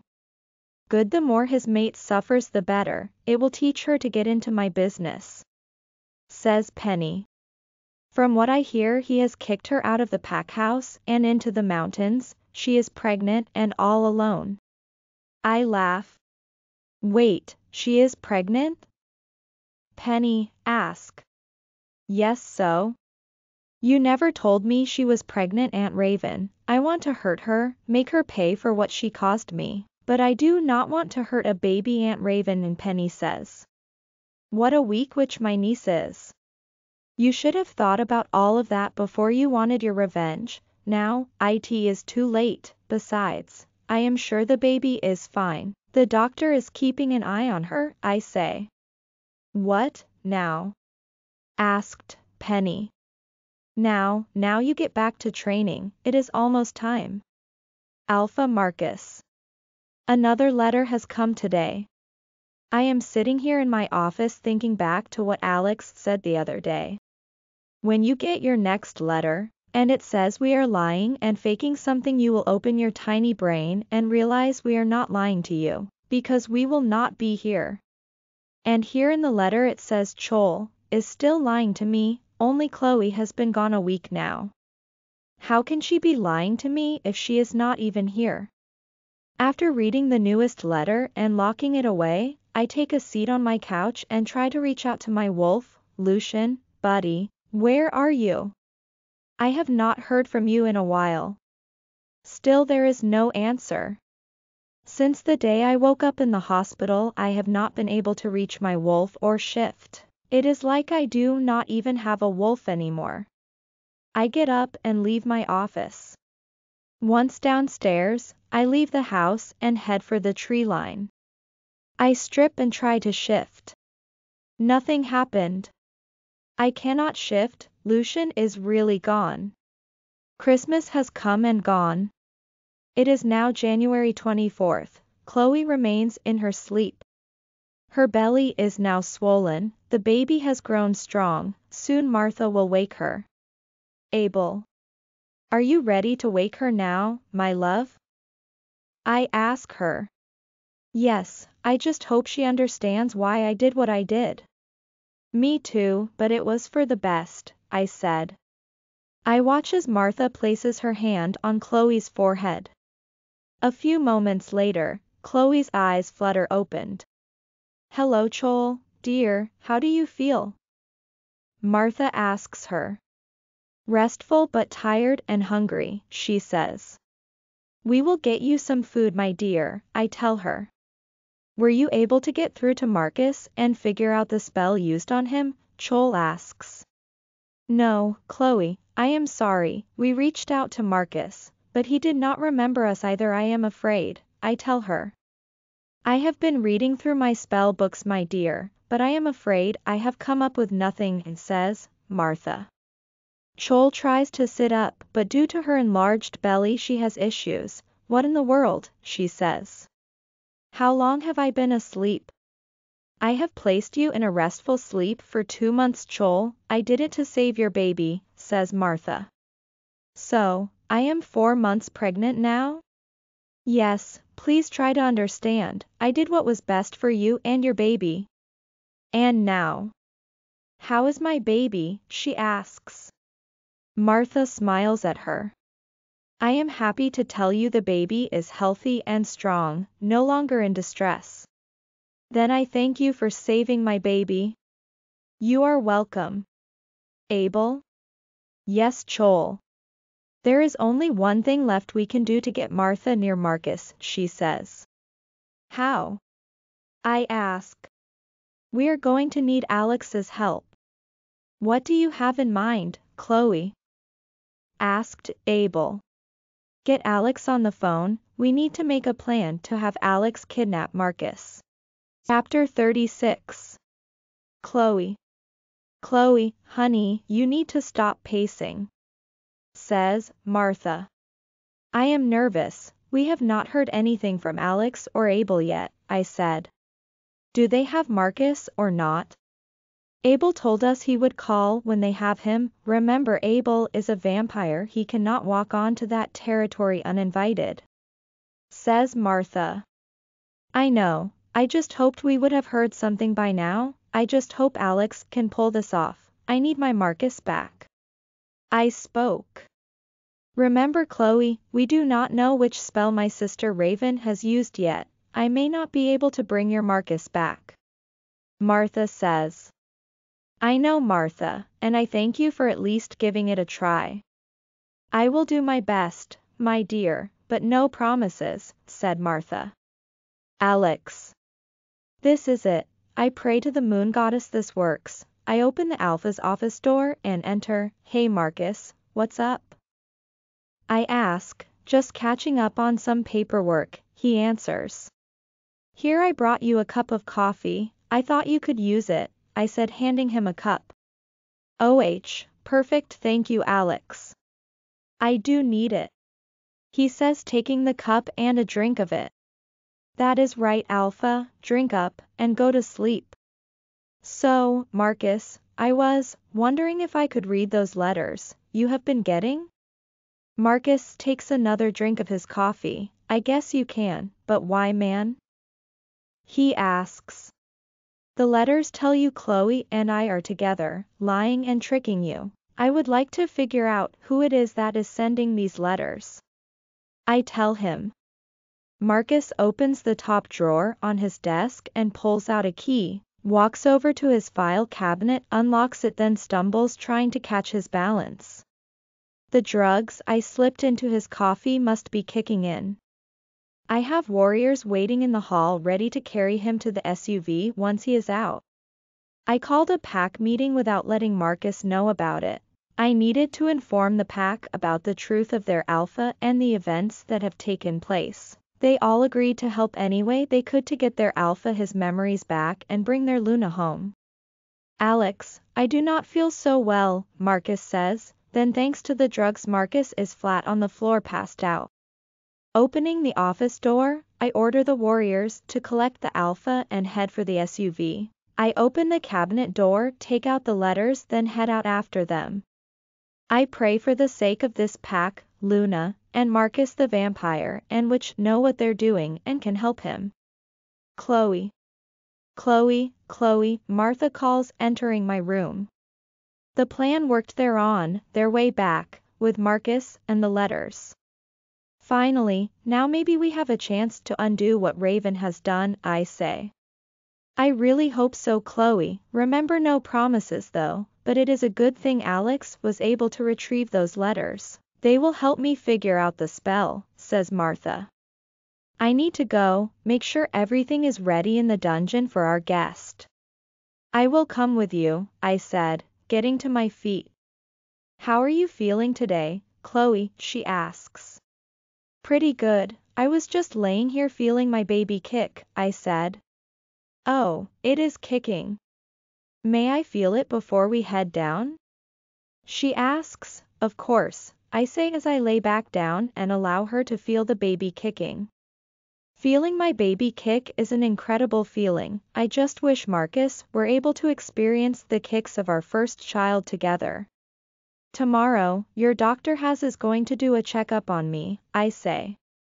She was kid enough to kept watch over you and the baby through your restful sleep as well. She may be a vampire, but she has been around a very long time. She knows what she is doing. Martha says.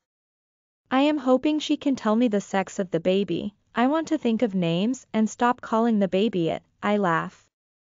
I am sure she can. Come on, let us go get things ready before they get here with the alpha. Says Martha.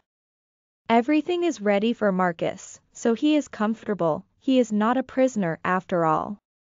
The dungeon door opens, two warriors walk in, carrying the passed out Alpha. I watch as they lay him on the bed, Luna Chloe, Alex says, rushing to hug me. It is good to see you, wow pregnancy sure suits you, he smiles. Thank you, Alex, it is good to see you too. I just wish it were under better circumstances, I said. I agree, says Alex. Welcome back, Abel. I say, hugging him. Thank you, my dear. Do you have the letters? asked Martha. Alex takes them out of his jacket, wailing into the cell and handing them to Martha. She quickly opens them and starts to read them. Oh, no, she says. What is it, my love? asks Abel. This is not a spell, she says. Then what is it? I ask. It is a brainwashing program, Raven is reprogramming his brain. By the sound of this last letter I would say she is trying to make him her minion, says Martha. On her fourth letter, she went and put his wolf to sleep, no wonder he never heard from his wolf or shifted, said Alex. How do we undo this? I ask, Martha looks up at me. I am sorry Chloe, I don't think I can. She speaks. No. There has to be something you can do, I say. If it was a spell, then perhaps, but I am not skilled with brainwashing dark magic spells, says Martha. I will take these to my spell room and work on it, but it may come down to where Raven may be the only one to remove it, or... Or what? Asks Alex. Or Raven would have to die for it to be broken and everything to return, either way I think Raven may be the only key to helping him, she says. I break down crying. Alex pulls me into a hug. Come my love, let us get to work on these letters, we shall at least see if there is anything we can do. Says Abel. Here, says Abel holding out two sets of keys to Alex and me. These are the extra keys I had made for you, both to the dungeon and the cells. Both me and Alex takes a set. Thank you, I say through a tear-stained face. When you close the door it will lock automatically, for now he should sleep till morning, Abel says. Come, Alex says, you are going to rest till morning, Luna. I take one last look at Marcus, then follow them out of the dungeons back to the house. Martha and I shall be in her spell room if you should need us, says Abel. Alex, make sure Chloe rests, no stress, she sees the doctor first thing in the morning, Martha tells Alex. I will take her to her room to rest now, Alex says. When Martha and Abel disappear into the spell room, Alex walks me up to my room. Once he helps me on the bed, he grabs a chair and sits beside the bed facing me. How are you and the baby doing, Luna? He asks. If I had my husband back it would be better, but the restful sleep Martha placed me in helped a lot, my baby is fine now. It is no longer in distress. That is good news Luna really, I know how hard it was for you when you lost the first baby, he says. Touching my hand. So, doctor tomorrow. Yes, just a checkup, I am hoping she can tell me the sex of the baby, I said. Alex and I talking about my baby and Marcus. For a while longer. Because they had forgot to give Alex a room, Alex was fast asleep on the couch in my room. I am lying here thinking about my baby and Marcus. I cannot help but wonder what will happen if Martha cannot undo what her sister has done. Will my baby ever know his father? Will I ever have my maid again? Will Marcus even accept his own child? Who could have hurt Raven so much to make her so cruel? Why is Penny following her? The alarm wakes me up at 6.30 am my doctor's appointment is at 7.30 am. I get up take a fast shower, wake Alex and head down to find Martha and Abel. Good morning, Chloe, Alex, I hope you both slept well, said Martha. I did not get much sleep I am afraid, I said. Did you have any luck with the letters? Some. But not a lot I am afraid, but I will not give up, I just needed some food then I will take you to the doctor's. After that we pay Marcus a visit, said Martha. If he will allow me to touch his forehead and look into his eyes maybe I can pick up something. Okay, let us eat and head out, I want to get back and see Marcus, I said. Just remember Chloe dear, he still is not your mate and now that he is locked up, he is going to be even angrier with you. With all of us I am afraid, says Abel. I know, but I need him to see me pregnant, I need him to feel his baby inside me move, I said. And if he will not touch you? Ask Alex, then, I just wait him out. Good morning, Miss Chloe, how are we feeling this morning? asks the doctor. I am feeling fine. Other than nervous and a bit of anxiety, I said. I heard the alpha is here, so that is how I expect you to feel. Shall we take a look at the baby? Yes, do you think you can tell the sex of the baby yet? I asked, oh my, I am sorry Chloe, I forgot to ask you the last time I saw you. I have known the sex of your baby since December my dear, she says. Tell you what, let me do my measurements on the baby, then I will turn on the sound so you can hear the heartbeat. Then I will show you what you are having, she says. Ten minutes last the doctor speaks. Okay ready? I just turned on the sound, you should hear the heartbeat anytime. A couple seconds later I hear a strange sound, backslash what is that sound? I ask. That sound is the baby's heartbeat, nice and strong. Says the doctor. It was so amazing, a tear rolls down my cheek, I wish Marcus were here to hear his baby's heartbeat with me. Wow, you know?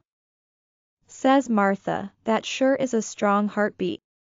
Okay, are you ready to know the sex of the baby? She asks, yes. Both me and Martha say, she turns the screen towards me. I cry as I see my baby for the first time on the screen, Tears roll down my face as she points out the little head, arms, legs, toes, fingers, and the heartbeat, and this right here, she says. Is your son's, little Willie? She says, it's a boy? I ask, it sure is, and an extremely healthy one too. Says the doctor. Oh my god, I am having a little boy, a little handsome boy of my own, I am so happy more tears fall down my face. Chloe, are you all right? Are you not happy about having a boy? Martha, ask. What? Oh no, no I am extremely happy, my very own little man. I say, Martha laughs at me. After we thank the doctor, make my next appointment, Martha and I head back to the coven. Welcome back, how did it go? asked Alex. Very good, we got to hear the heartbeat, I said excited. That is so cool, I cannot wait to find my mate so I can have my own pup and experience all that, says Alex. Did you find out the sex of the baby? Asks Abel, entering the room. We did. Says Martha, kissing her husband. And what are we having? asks Abel. We are having a boy, I say happy and proud.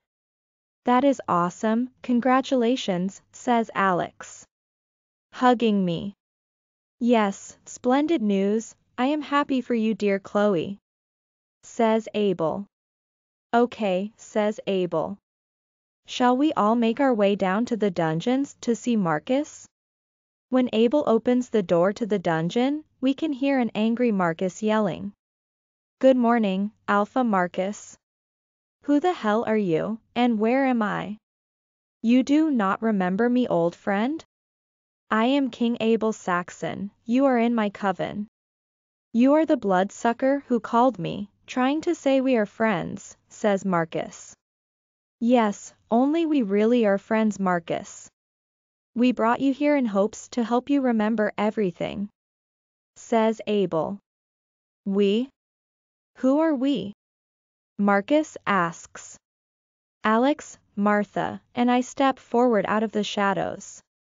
Oh, you have to be kidding me. He speaks. Marcus man, you have to let us help you. Says Alex. Help me. There is nothing wrong with me, you all kidnapped me, he yelled. How dare you betray you Alpha Alex, you will pay for this. I step towards the cell bars. And you, I thought you were gone for good, he says. No Marcus I came here asking our friends for help Marcus, you are under a dark witch's hold, and we need to break you free of it, I said. Marcus laughs at me. You're all crazy. Martha steps forward, Alpha Marcus, if you will allow me to touch your forehead and look into your eyes perhaps, I can help you, asked Martha. After a couple of moments, Marcus agrees and stands in front of Martha. Just as her hand reaches up to touch Marcus, he grabs her arm pulling her against the bars. Open these bars now, or I snap her neck. Marcus yells. Abel hisses, Marcus let her go please, she only wants to help you, we all do, I say stepping towards Martha. Just open the cell, Chloe, now, he says. In a swift move I grab and pull Martha from his crib tossing her towards Abel. With Marcus behind the silver bars and not having his wolf he was weakened. Which helped me save Martha from him. Marcus yelled in frustration. Being so close to Marcus the baby is bouncing around inside me, he knows he is near his father, Marcus. Do you know what happens when mates are having a pup and are near one another? I ask him.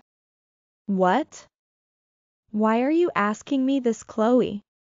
Just answer the question, Marcus. The pup starts kicking and moving like crazy, okay, he says. I take his hand and place it on my belly, our son is going crazy inside me. That is our son inside here, Marcus, he recognizes his father is close, I say, it is a boy? He asks looking at his hand on my swollen belly. Yes. This is our baby Marcus, our son, I say again. Marcus drops to his knees, still touching me. My son. Chapter 37 Two days ago, Marcus fell to his knees touching my belly, feeling our son move and kick for the first.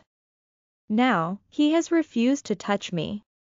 Martha has not been able to find anything to undo her sister's brainwashing spell.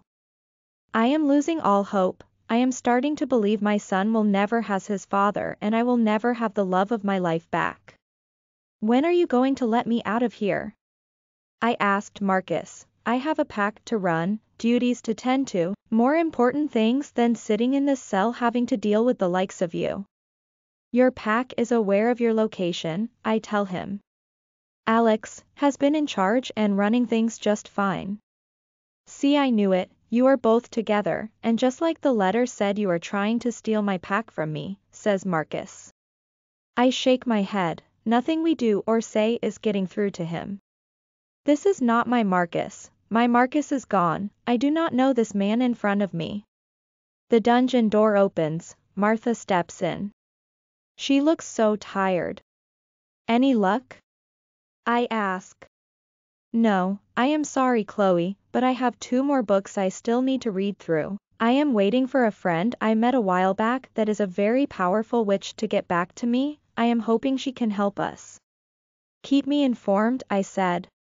Chloe, you are worn out, you need rest, said Martha. Lock me in the cell, I say. What? What do you mean Chloe? What I mean is, use your power to hold Marcus in place then lock me in with him. I say. Chloe, are you crazy? You are pregnant. Says Martha. This is not the same Marcus you knew Chloe, he can hurt you, or worse, this Marcus dislikes you. He will not hurt me, Martha. I am his mate, I carry his baby, I said. No matter how he feels about me now, he still would never hurt a pregnant woman. I do not agree with this Chloe, Abel and Alex will not be pleased about this.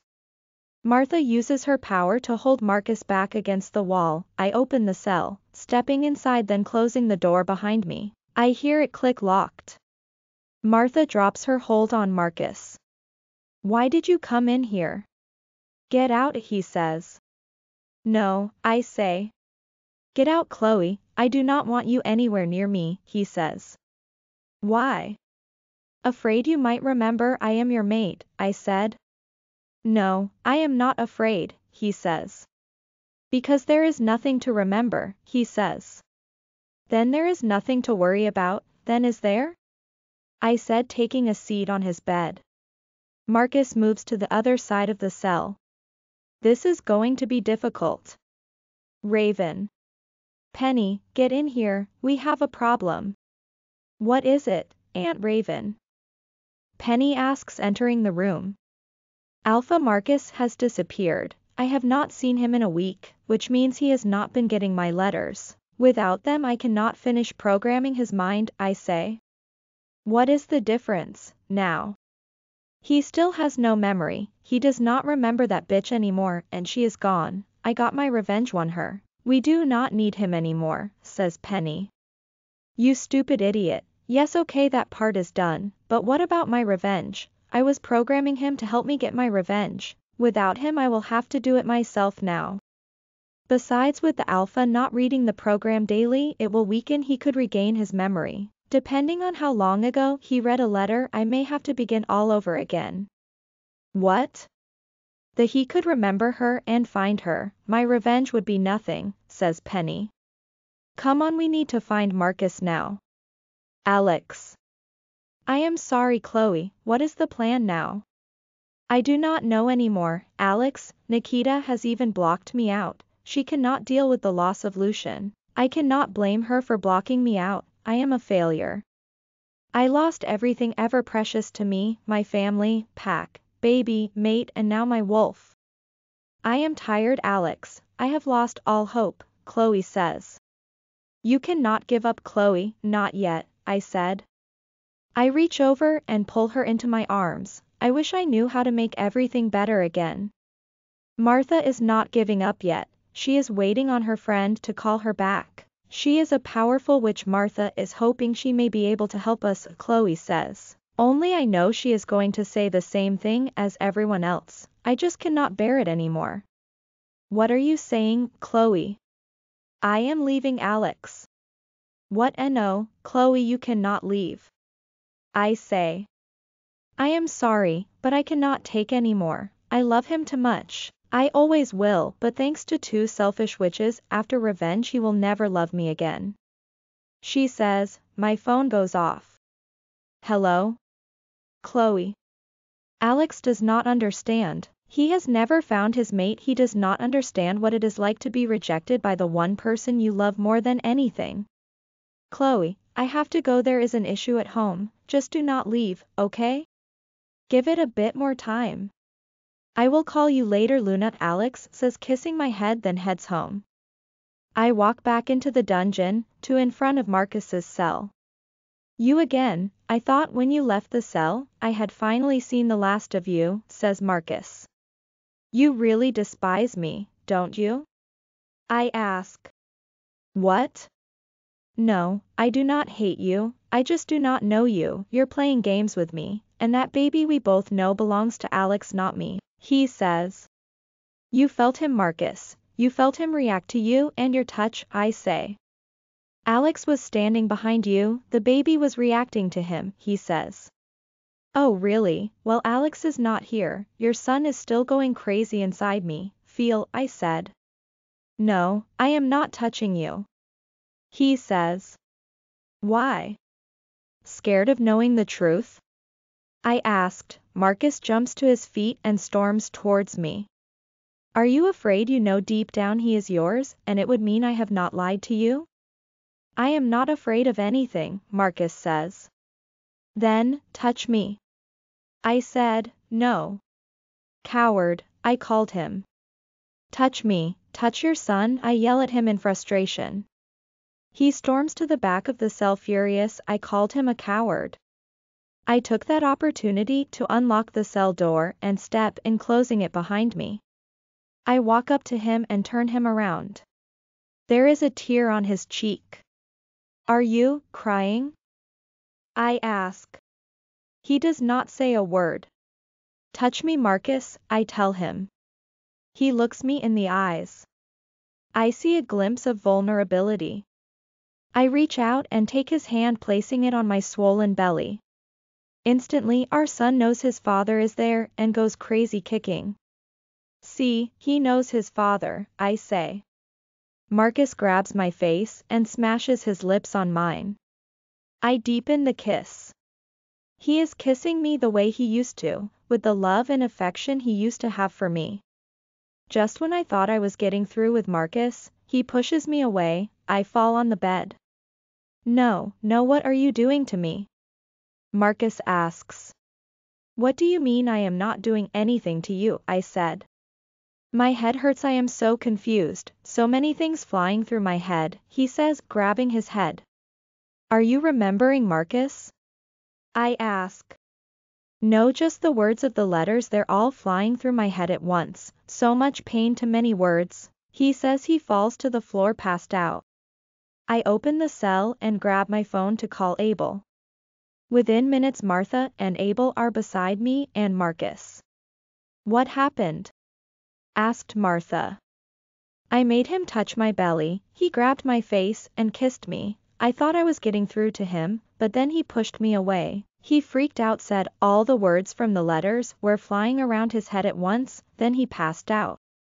I think you did it Chol, I think you have made breakthrough, says Martha. What? How? I ask. I have to check with Harmony when she gets here to know if I am right. Right about what my love? Abel asks. I think the baby's and Chloe's love for Marcus is breaking through to him. I could be wrong. Like I said I need to check things with Harmony, but we might just have an answer, she says. I look down at Marcus's handsome face, brush his black hair away from his eyes. We really do love you Marcus. A black mist comes out of his mouth and hovers in the air above him, back away now, yelled a voice. Abel pulls me and Martha away from Marcus and out of the cell. The woman who yelled entered the cell with a black box open, she chants words, and the black mist enters the box. She places the lid on the box and says some words in a language I do not understand. The box melts around the edges sealing itself shut. She bends down and places her hands on Marcus's chest. Who is she? I ask. That is Harmony, says Martha. She is here to help us Chol, she is the one I told you about, she is a very powerful witch. We stand there watching the witch wave things over Marcus and chant, her eyes were glowing green, her hands white. After some time she stops and walks over to us. The real Marcus is still in there, he can see and hear everything going on around him, only he cannot stop his mind from doing and saying the things he has. Harmony says, his soul is in great pain because of this. What does this mean harmony? Martha asks. It means when you told this child her love can reach him you were right, that kiss you talked about was your Marcus breaking through. The brainwashed program spell, played the words over again trying to gain back control, she says. So, what do we do now? Asks, Martha. Now, we lock this child in with her mate, the more she is with him and keeps pushing him the better. In the meantime you and I Martha need work on a spell to help her and remove this program spell for good and return him to normal. It is going to take her love and our magic to do it. Finally, there is hope. Keep pushing him my child, says Harmony. Abel. Phone rings. Hello? Father you need to come quick, Beta Alex's car has been made to crash, it looks like he was taken. Where? Just off our coven territory. Over the bridge. On my way. Martha, my love you and Harmony, continue here with your spell, there is something I must look into.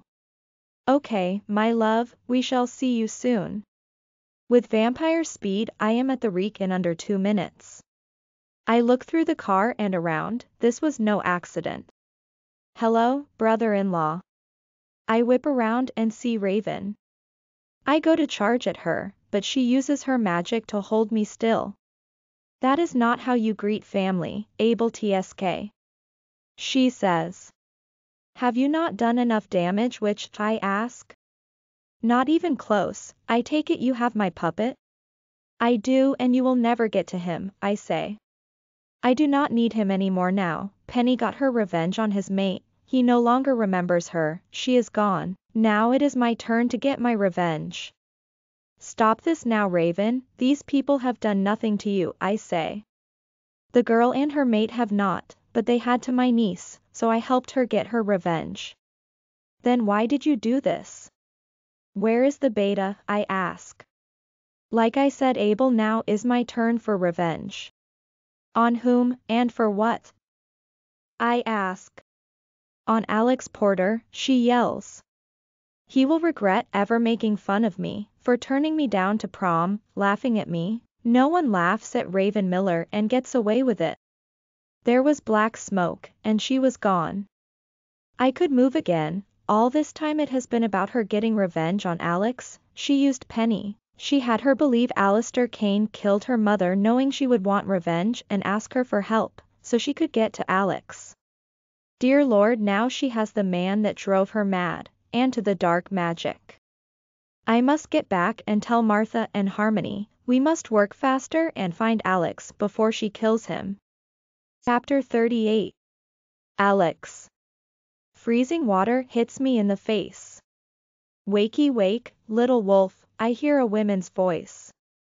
I blink opening my eyes, I cannot move, my legs and arms have been tied to the chair I am sitting in. Where am I? I ask, you do not need to know that right now, the voice says. Who are you? I ask. What do you want with me? All in good time but all in good time. The women's voice says. Just get yourself comfortable, you are going to be here a while. Why? What do you want from me? I ask. I am not an alpha. No, you are just a mean bully, that is who you are. The voice says, What? I am not a bully, I say.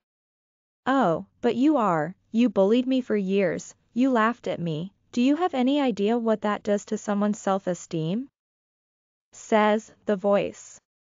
No, how could you, you were popular, you and Marcus always so high on yourselves. Wait, are you talking about high school? Like so many years ago? I am not that same kid anymore, I grew up I became the beta, I respect everyone, I said. Oh, you changed, my mistake then, I was wrong, and I should let you go then, what do you take me for? You think because you made yourself a better person, that you can wipe away the four years you bullied me? Or the embarrassing humiliation you put me through, she says. Because of you, I could not show my face at the prom or graduation. I did not know what to say, I was a bully as a teen yes, but I bullied so many, some I did not even know their names. They meant nothing to me. Look, I am sorry, okay, I do not even know who you are okay, I picked on us so many people without even knowing them okay, so for what it is worth I am sorry. I tell her. Figured, I figured you would not remember me. Why don't you stop being a coward and show yourself already, I said. I lift my head, the figure steps out of the shadow, she is beautiful, her long black hair makes her green eyes pop. What is she talking about I would never pick on anyone this beautiful. Remember me now, Alex? She asks. No, I am sorry I do not, but I can honestly say I would never pick on anyone as beautiful as you, I say. The woman begins to laugh. No, you would not, but I did not look like this back then, she touches her face. This is my doing, I used a spell to make myself beautiful, she says. Let me tell you a little story. You see, my father was a very powerful warlock, who made a lot of enemies. My sister was older than me she had already left the house got married and had a baby by the time I was six years old. It was just me left at home, one day a werewolf came looking for my father, he found six-year-old me instead, so he left my father a message. She told me. What was the message? I asked. He took a sharp knife, just like this one here. She holds up her hand, reveling a silver knife in her hand. He took that knife and slashed me here, she says slashing my right cheek deep with the silver knife. Then he slashed me here, she says with a smile on her face as she slashed me across my left eye. I growl out in pain from the silver. Remember me now, Alex? I never done that to you, I said. No, you did not, you just bullied me for the scars he left behind on my face, she says, then waves her hand over her face to reveal her true looks. She was still the beautiful woman just hidden behind deep ugly scars on her face. My left eye was on fire, the silver was still burning through me. Does the name Raven Miller ring a bell, Alex? She asks, Oh, dear God Raven, I remember her now, I would pick on her to impress Whitney the girl I was dating back then. I scream out in pain as she stabs me in the shoulder with the silver knife. Answer Emmy, she yells. Yes, yes, okay, I remember you Raven. I answered her. I had a crush on you Alex and you hurt me, I always dreamed of you taking me to prom, but do you remember what you said to me? She asks. I did not say any, the pain from the silver was pure torture. I scream out again and try to break my ties as she stabs me again in the other arm. Answer me, Raven says. No, okay, no, I do not remember. I said slightly out of breath from fighting the pain and trying to break my restraints. Figures all bullies never remember, well let me refresh your memory shall I, she says. It was a week before prom, they announced tickets were on sale starting that day. You had just come out of the locker room after football practice with your buddy Marcus. You bumped into me and for once you said sorry, no name calling or anything just sorry. So I took the chance and asked you if you would be my date for prom, you looked me straight in the eyes and laughed at me. You were laughing so hard, when your friends showed up asking what you were laughing at, you put your arm around me. Pulling me into the middle of your friends, and said, the daughter of Frankenstein asked me to prom, then you all laugh at me. And if that was not embarrassing enough, you lift my head and held my hair back so they got a good look at my face, then you said, Scarface thinks I would be seen at a dance with her, you laughed and humiliated me, you followed me to class laughing the whole way. I was a kid raven, I was with Whitney, I wanted to impress her. I said, I am sorry.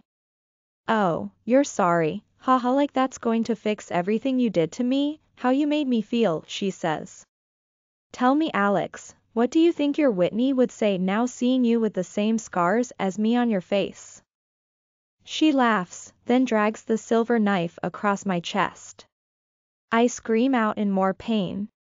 That is right, scream for me, Mutt Raven says. Enough you witch enough, I yell. Enough?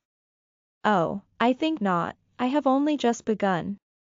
I said I was sorry, I was a kid it was a long time ago raven enough. These scars will never heal you made then with silver my mate will never want me now if I ever find her, so you got your revenge. I said.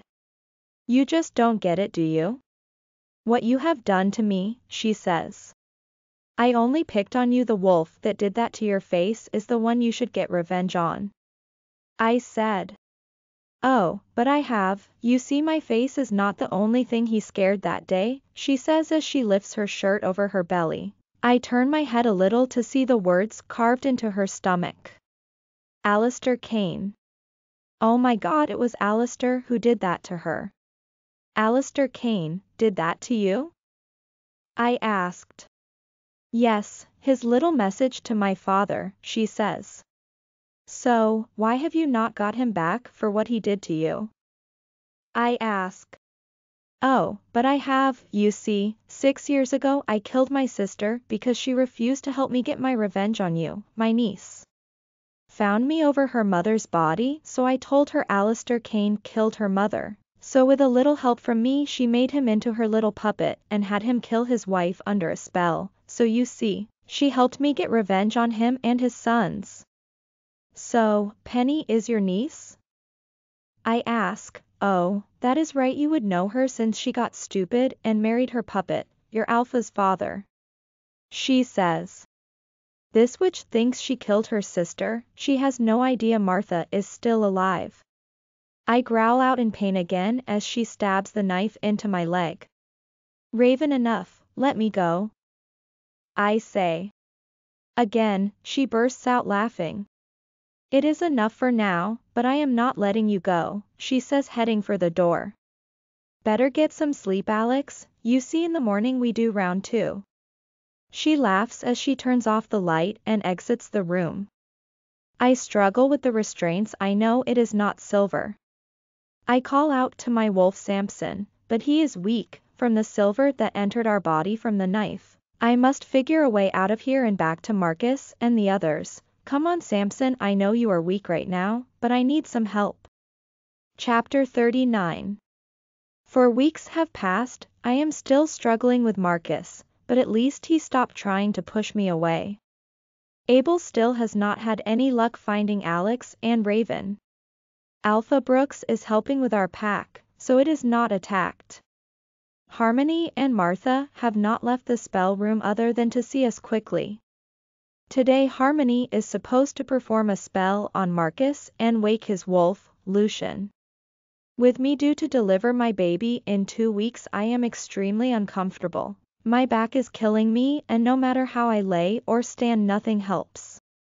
I am still locked in the cell with Marcus and when I move around it seems to annoy him.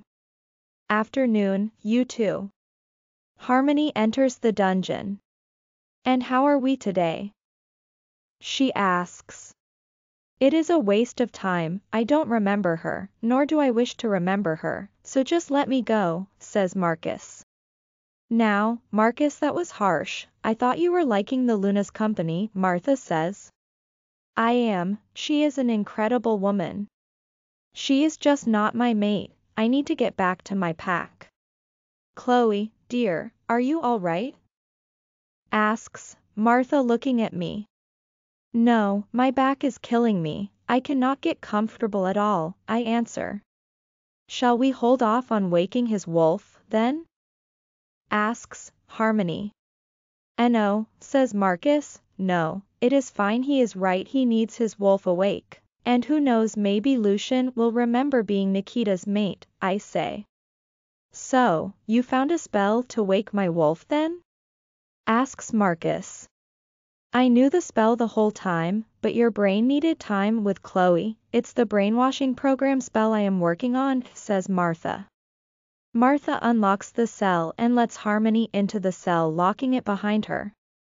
Okay Marcus lay down and I will awaken your wolf. I just hope the reason she put him to sleep is because she could not control him like the human part of you, and he is not programmed to kill when he wakes up, Harmony says. I will do my best to control him, says Marcus. I watch Harmony kneel beside Marcus on the bed, she hovers her hands over his head and starts to chant. Her hands begin to glow purple as she moves them around in circles, up and down his body, I notice Marcus's body change, his muscles get bigger his chest fuller his wolf was returning to the surface. After 10 minutes there is a loud growl and Marcus shoots up. Marcus? I say. His head snaps to me, his eyes are not blue anymore, they are now gold with a hint of the blue, this is not Marcus. Lucian. Without shifting I allow Nikita to come forward. Mate, says Lucian as Nikita comes forward. He pushes Harmony out of the way and comes to me. My mate, my PUP, he says. You remember me, Lucian? Asks Nikita. Oh, course why would I forget my mate and pup? He asked. Martha Harmony and Nikita all fill Lucian on everything that has happened while he was asleep. Let me out now, I want this witch dead. He growls. Lucian started wreaking his cell, turning over the bed and tables, throwing things. When Nikita touched him to try to calm him down, he was in the middle of thrashing about, and he ended up hitting Nikita, who flew across the cell hitting her head on the wall. CHLOE, Martha yells opening the door running to me. Oh my god, I hurt my mate, says Lucian kneeling beside Chloe. She needs the doctor now, says Harmony. Lucian picks her up bridal style, following the witches to the doctor. In the waiting room Lucian's eyes are closed but his body is shaking. Lucian, can you tell me what is happening with you? Asks, Harmony. I am talking to my human, he is going to come forward now, but please tell my mate I am sorry said Lucian. His body shot out of his chair. Chloe, he says. Lucian? asked Martha. No, it's Marcus, he said. And I remember everything. Yes. It worked, said Martha. That's it. The reason she put his wolf to sleep was because she could not program him, while his wolf was awake. She could not program the wolf just the man, which is why when I woke the wolf the spell broke, said Harmony. Asterisk I could see and hear everything, I just could not break through. God I pray Chloe forgives me, it was not me, he says. She knows that Marcus, that is why she has been fighting so hard and long to get through to you, said Martha. She did, I heard and seen everything she did only I could not respond to her. He says. And now I hurt her and our baby, I will never be able to forgive myself if anything happens to them. Says Marcus. Have faith Marcus, she is strong your son is strong. Says, Harmony. My son, that is right. We are having a boy. Pardon me. Says the doctor. My wife and baby. Says, Marcus. The doctor looks towards Martha. It is okay doctor, he is fine now, we were able to break the spell, says Martha. Well then, Alpha Marcus, your wife is not doing well, she is bleeding in the brain from hitting it on the wall. The baby however, is doing fine for now but if he stays in her much longer, he will be in distress. Says the doctor. So, what are you saying? Marcus asks. I need your permission to do an emergency C-section on your wife, she says. I am going to have to take the baby from her first before I can Chloe to have emergency brain surgery. Oh course, you have permission, doctor. Says, Martha. I am sorry, Martha, says the doctor. But I need the permission from her husband, says the doctor. And please keep in mind, without the C-section first, they will both die. You have my permission, doctor, but may I be there when you take my son from his mother? Marcus asks. Nurse, yells the doctor, have Alpha Marcus scrub up and dressed for emergency C-section, you can be there for that Alpha, but you will have to leave for the brain surgery. I understand. Says, Marcus. Marcus is rushed to the back to get ready.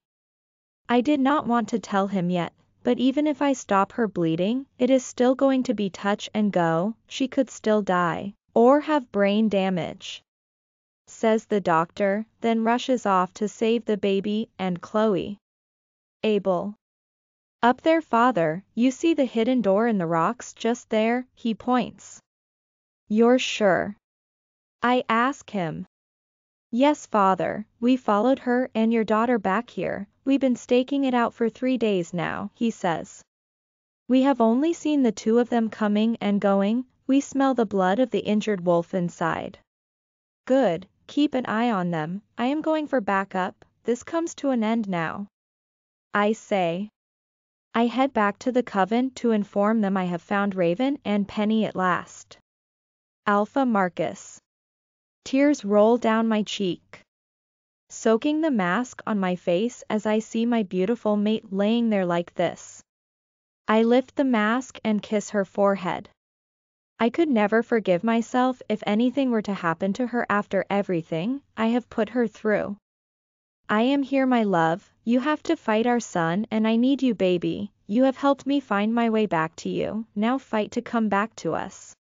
I tell her. Okay here we go, says the doctor. I watch as she takes a silver scalpel and cuts into my wife. Moments later, I hear the precious sound of my son's first cries. I watch as nurses take him over to another part of the room to tend to him. Okay, let us close her up and get her next door for surgery. Says the doctor. Alpha says a nurse. I look over and see she is standing there holding my son wrapped in a blanket. She passes him to me, and I take him. He is a very healthy boy, Alpha congratulations. Says, the nurse. Thank you, I say. Look, my son, this is your beautiful mother, I tell my son. Leaning him towards his mother. The monitor starts to go crazy, doctors and nurses are scrambling all over. We are losing her, says the doctor. And oh save her, Chloe my love fight, I yell. Move her now, says the doctor. I stand there is shock holding our son as they wheel my wife out the door. A nurse doing chest compressions on her as the doors close, leaving me alone with my son. What have I done? Oh God, what have I done? Chapter 40 Marcus Carrying my son, I step out of the room, I head towards the waiting room. Right away Martha sees me and runs to me. Oh my god he's so precious, how is Chloe, she asks. Here, um, her heart stopped, they rushed her away, I said. The room filled with gasps. I need to have Harper come here, I said. I was going to need her as Chloe's best friend to help with the pup. Give me the baby Marcus and come sit down, says Martha. I let her take my son from me while I sit in a chair with my head in my hands at my knees. I cannot lose her not now, not after she fought so hard to bring me back. Finally, after 30 minutes the doctor enters the waiting room, my wife Chloe, how is she? I ask, it was touch and go, Alpha, we lost her three more times on the table, we have her stable at the moment, but the next 48 hours are going to be critical. Says the doctor. I have done all I can for Chloe, the rest is going to be up to her now, I am sorry. Can I see her? I ask. Not yet we want to make sure she stays stable before we move her. In the meantime we can take the baby and get him fed and checked over again, says the doctor. Martha passes me back, my son and I follow the doctor into a room to feed him. When I return to the waiting room with my son a frantic Harper is waiting there with her father Alpha Brooks. Marcus, Chloe did they really lose her four times? Harper asks. I fill them in on everything the doctor told us. Harper takes the baby from me and goes and sits in a corner away from everyone. I can hear her telling my son his mommy is a fighter, a strong woman she will make it. Tears run down my face as I listen to her talk to him about his mother. Marcus, I have called Damien and Brooke home, they will arrive tomorrow, I have people going to pick them up at the airport. Alpha Brooks tells me. Thank you, Richard, they should be here, Alex is Brooke's brother, and they are both close to Chloe, I said. Yes, that is what I figured.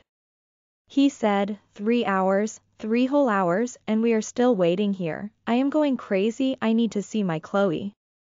Alpha Marcus, you can go see your wife now, a nurse says. I jump to my feet, may I bring my son to see his mother, I ask pointing to the baby, yes, of course, maybe it will help her. She says. I take my son from Harper and follow the nurse into Chloe's room. Harper. Father, I want those witches dead. I believe we all do, my daughter says, Alpha Brooks. Harper, says Martha. I know how you feel, I to love Chloe, but Penny is my daughter, she is only listening to her evil aunt. I am sorry Martha, I know it is Raven who is controlling all of this, but they need to pay. Abel.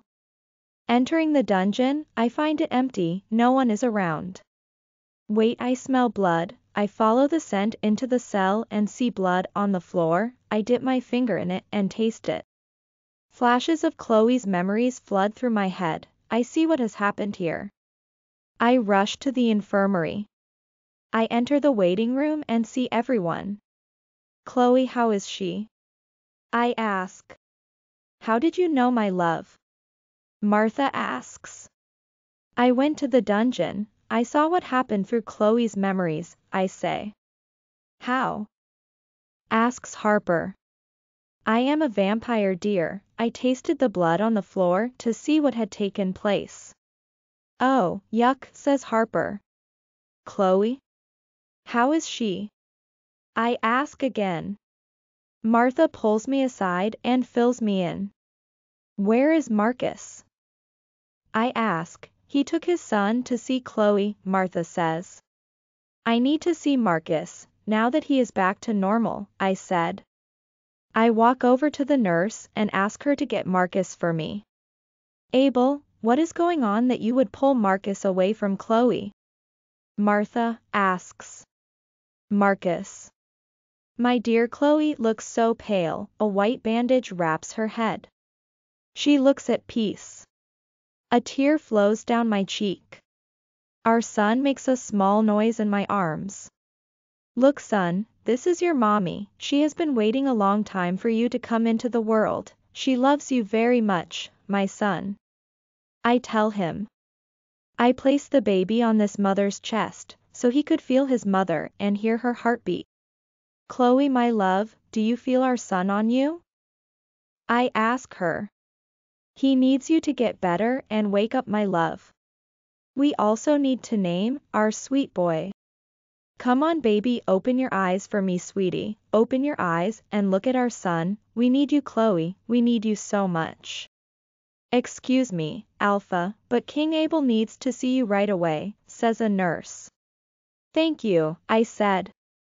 I pick up our son, we will be right back my love, I kiss her cheek, then head to see what Abel wants. When I reached the waiting room, everyone was upset and angry. What is going on here? I ask, Alpha Marcus, says Abel.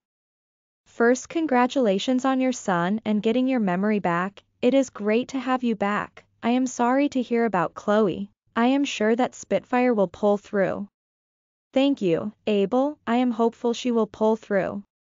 The other reason I asked to see you Marcus, is because we found Raven, Abel says. I see Richard holding Harper back. She was ready to shift. Where is she? I yelled, accidentally scaring my son. Harmony takes him from me. Where is she, Abel? She has been hiding up in the mountains, there is a hidden door between the rocks at the bottom of the mountain. He says. Let's go, I say. Wait, Marcus, we cannot just go up there, we need to prepare we do not know what we are walking into up there, Abel says. He is right Marcus, I want that witch to pay for what she has done as much as you, but Abel is right. Says Richard. You're right, yes we need to prepare. I agreed. But we must hurry she has my best friend Alex hostage, who knows what she has done to him. With me and Martha by your side you will have an advantage, I am more powerful than Raven, and I am positive once Penny sees her mother is alive and Raven has lied to her all these years, she will change sides and help us. At least we hope, says Harmony. Either way that bitch is going down for all the shit she has caused, says an angry Harper. No Harper, I say. I need you here. The reason I called for you to be here is to look after my son for me and watch over my Chloe. As much as I would like to be the one to rip her to shreds, my sister and her son need me. So yes fine I will stay here and look after them for you, she says.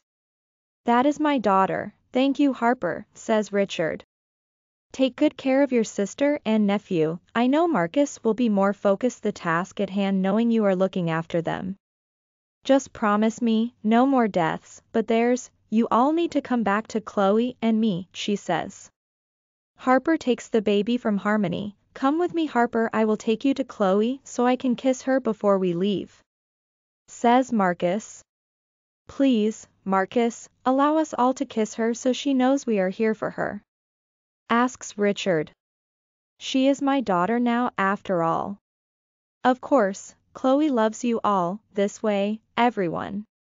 One by one each one of us enters the room, we each take our turn sending our love and praise to Chloe before kissing her forehead and leaving. Harper places the baby back on Chloe's chest, then begins to sing a soft tune as we all leave to prepare for the witches. Chapter 41 Marcus Alistair Kane showed up with 50 of his warriors to help us. He said he figured since one of the witches made him kill his mate and she is now his wife, he should be here. I cannot say I am happy to see him, I know the witch had him under a spell and made him kill my mother, but the images of that day still plays heavy in my head. Damien and Brooke have returned from school, I sent Brooke to help Harper watch over the baby and Chloe. Abel, three more alphas, 200 warriors, 100 vampires, the two witches, and myself start climbing the mountain. Martha and Harmony are using a clocking spell to conceal our scent, and an invisible spell so we can go unnoticed. None of us have ever dealt with witches before, so we are not sure what we are all heading into. Do we get to kill these bitches, Marcus? asks Damien.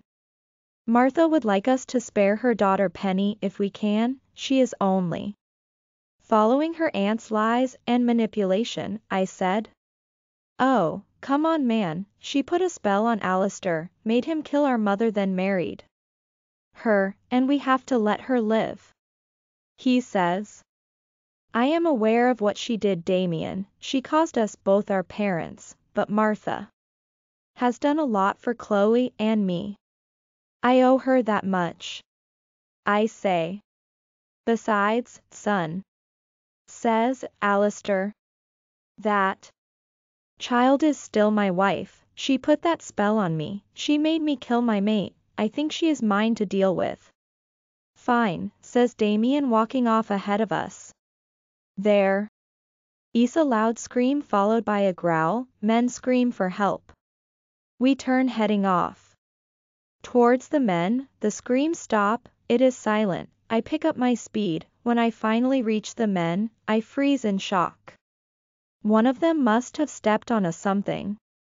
Because the trap has sprung, six warriors lay dead, each one with silver spears. Piercing through their body. More. Screams come from up ahead, I take off towards them. Now I only hear one of the men still screaming. When I reached him, he was a mess, a silver saw blade had cut half his face off, along with his right arm and leg. I look around and see that the other five men in this group have been decapitated. The others reach me and gasp. My God, says Abel. We have lost ten men so far, I said. Inform the others to watch for traps and triggers, they have traps all over. This mountain. Raven. Wakey, wakey Alex, do not die on me yet. Screw you bitch, just kill me already, Alex says. Not yet, I am still having fun with you. I pour another small bottle of wolfsbane over his head, then use the knife to cut his body more, placing drops of liquid silver in each of the cuts. He screams. In pain, I laugh. Ah suck it up Alex, you are a big bad wolf, can't you take a little silver and wolfsbane? I see he is having trouble keeping his eyes open. I flick my hand and have the pot of boiling water float across the room, I flick again, and it dumps over Alex's head. He screams out and growls. I laugh as I see his skin blister. Aunt Raven, Aunt Raven Penny came running into the room. What? I answered annoyed. Oh my god, who is that? She asks. Never mind what do you want? I am busy. Raven, what have you done? This was not part of our plan, she says. That is right, this is not part of our plan, this is my plan, my revenge on. This mud I tell her. Oh, my god, that is Alex, you cannot even recognize him anymore, Aunt Raven, you have to stop, she says. I nod my head and make Penny smack herself in the face. Remember your place, Penny. Remember who made you and helped you when you asked for it, now why are you interrupting me? She sniffs back her tears and speaks. Four of our traps have been activated, they have found us she say. Damn. It were not ready for them, the others are not here yet, I say. It is just me and useless you, you are not even close to being able to face them. I hear a laugh and turn to face Alex, he is trying his best to laugh. What the hell do you find, funny? I yell at him apathic witch about to have her ass handed to her, he laughs. Really, you think you are so slick, well you are not making it out of here alive. Mutt. I reach over picking up the large bottle of liquid silver off the table, I force. Open his mouth and try to pour it in, he breaks his restraints and attacks me. I could see he was trying to shift, but due to the amount of silver in his body, and the wolfsbane he could not, however he was able to get claws, which he used to tear my face and body. With all my strength, I jammed the open bottle into his mouth and pushed his head up. Alex rolls off me grabbing at his throat, he spits out the bottle, it is almost empty which means he has swallowed the rest.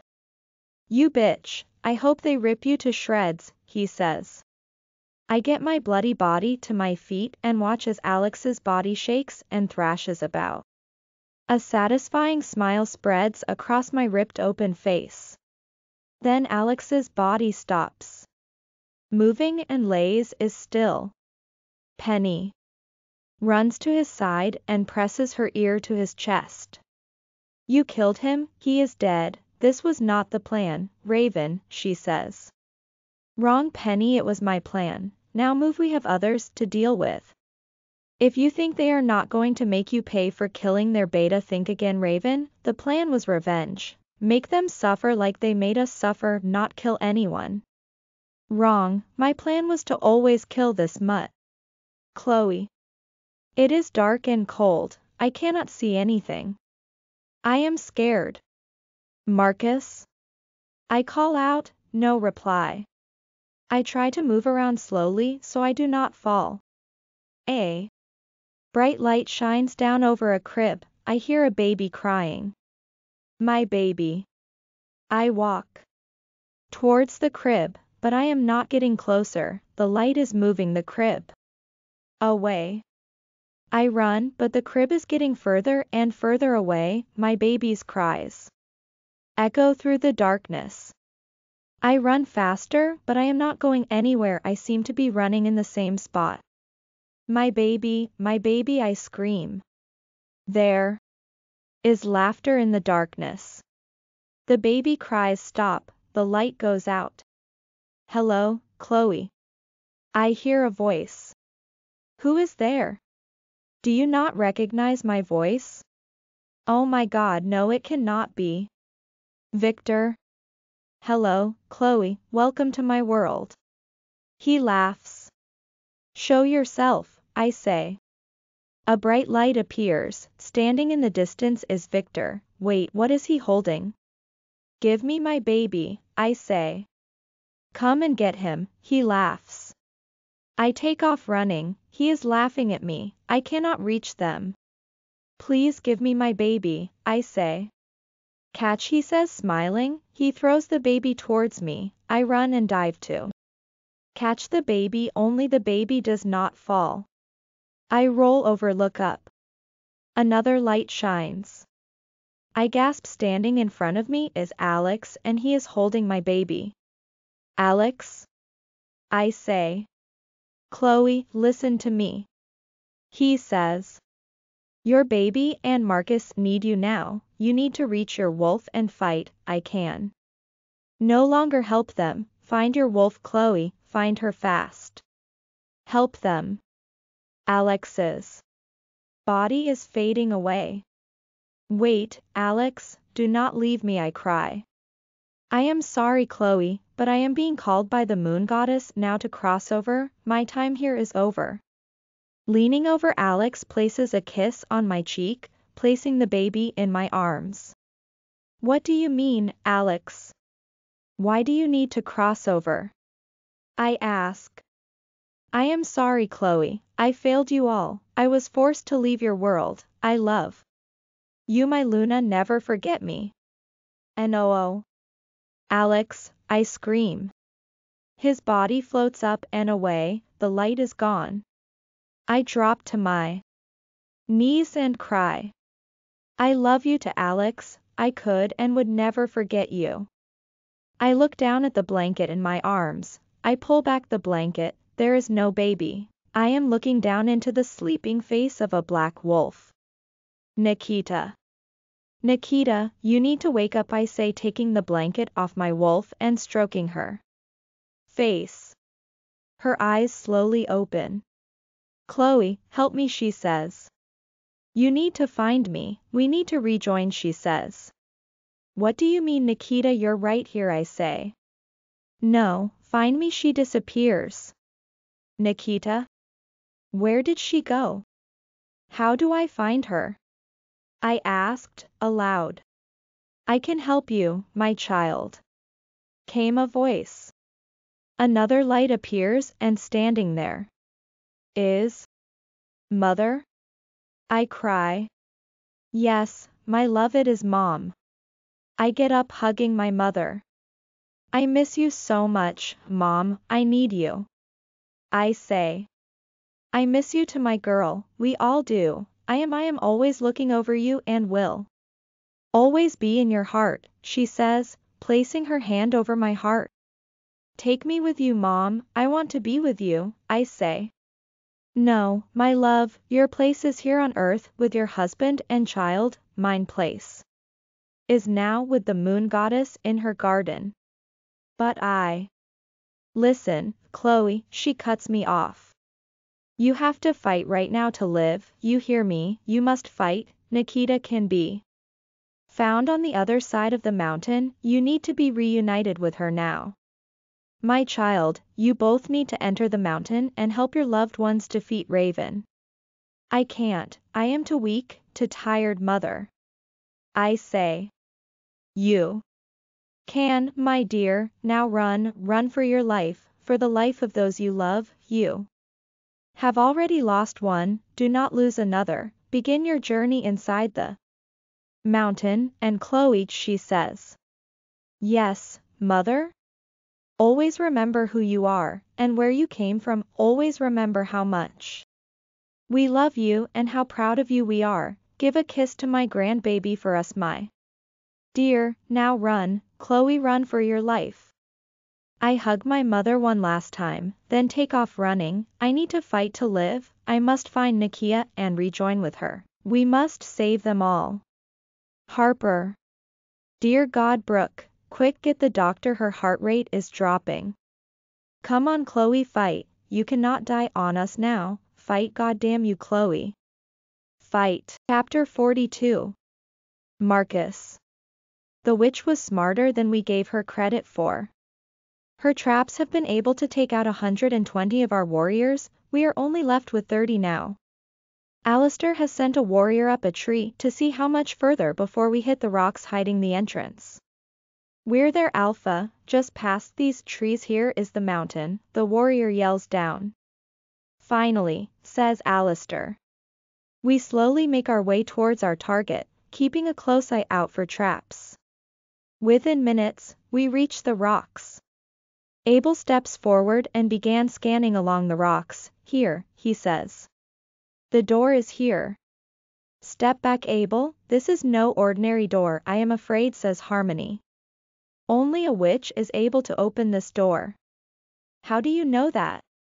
asked Damien. See, this mark here? She points.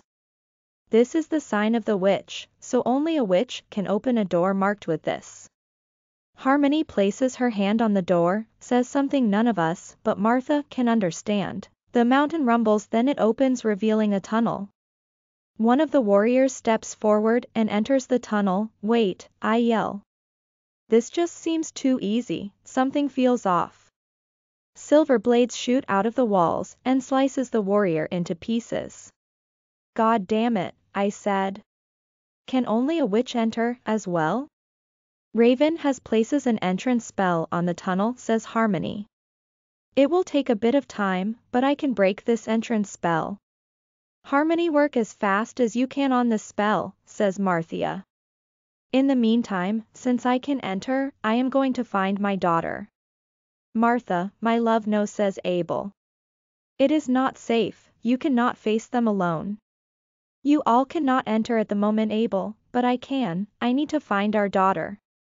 She blows Abel a kiss, then disappears down the tunnel. Martha, Martha come back Abel calls after her. Hurry Harmony, Martha is going to need our help, she cannot face them alone. Martha. Slowly making my way through the dark tunnels, I turn my hand over to create a light ball to help me see. I hear voices yelling up ahead, I walk as quiet as I can towards them. Soon the tunnel opens and forks into two directions. I must listen hard into each tunnel to know which tunnel the voices are coming from. I head down the left tunnel putting my ball of light out when I reach the end, again it forks in both directions with a room straight ahead. Killing him was not in the plan, Aunt Raven, that's Penny's voice, I hear. Maybe not in your plan but it was in mine, that jerk bullied me for four years of my life, he laughed and humiliated me. He deserved to die, I hear Raven say. Oh my god no, she killed Alex. Once we take care of our guest outside, our revenge will be over.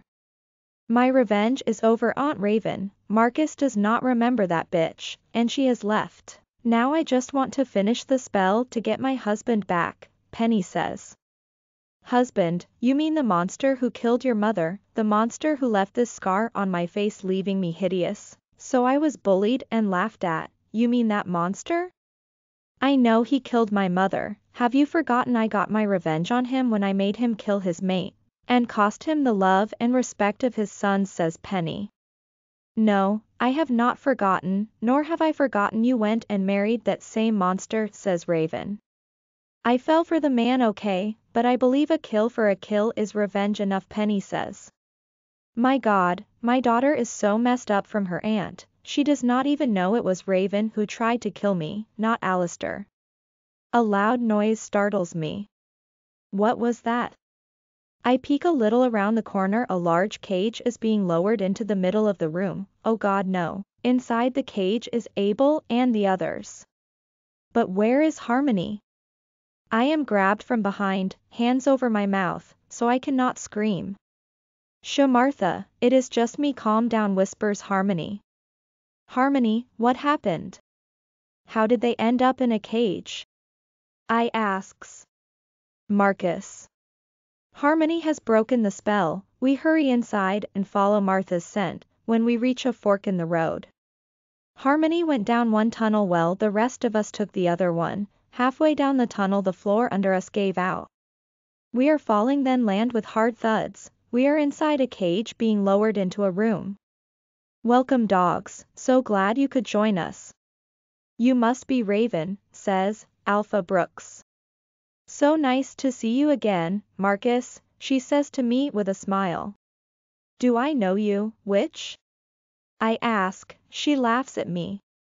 Really now, Marcus, your friend over there remembered me. I turn to look where she points. Alex, I growl. He can no laugh at me, the witch smiles.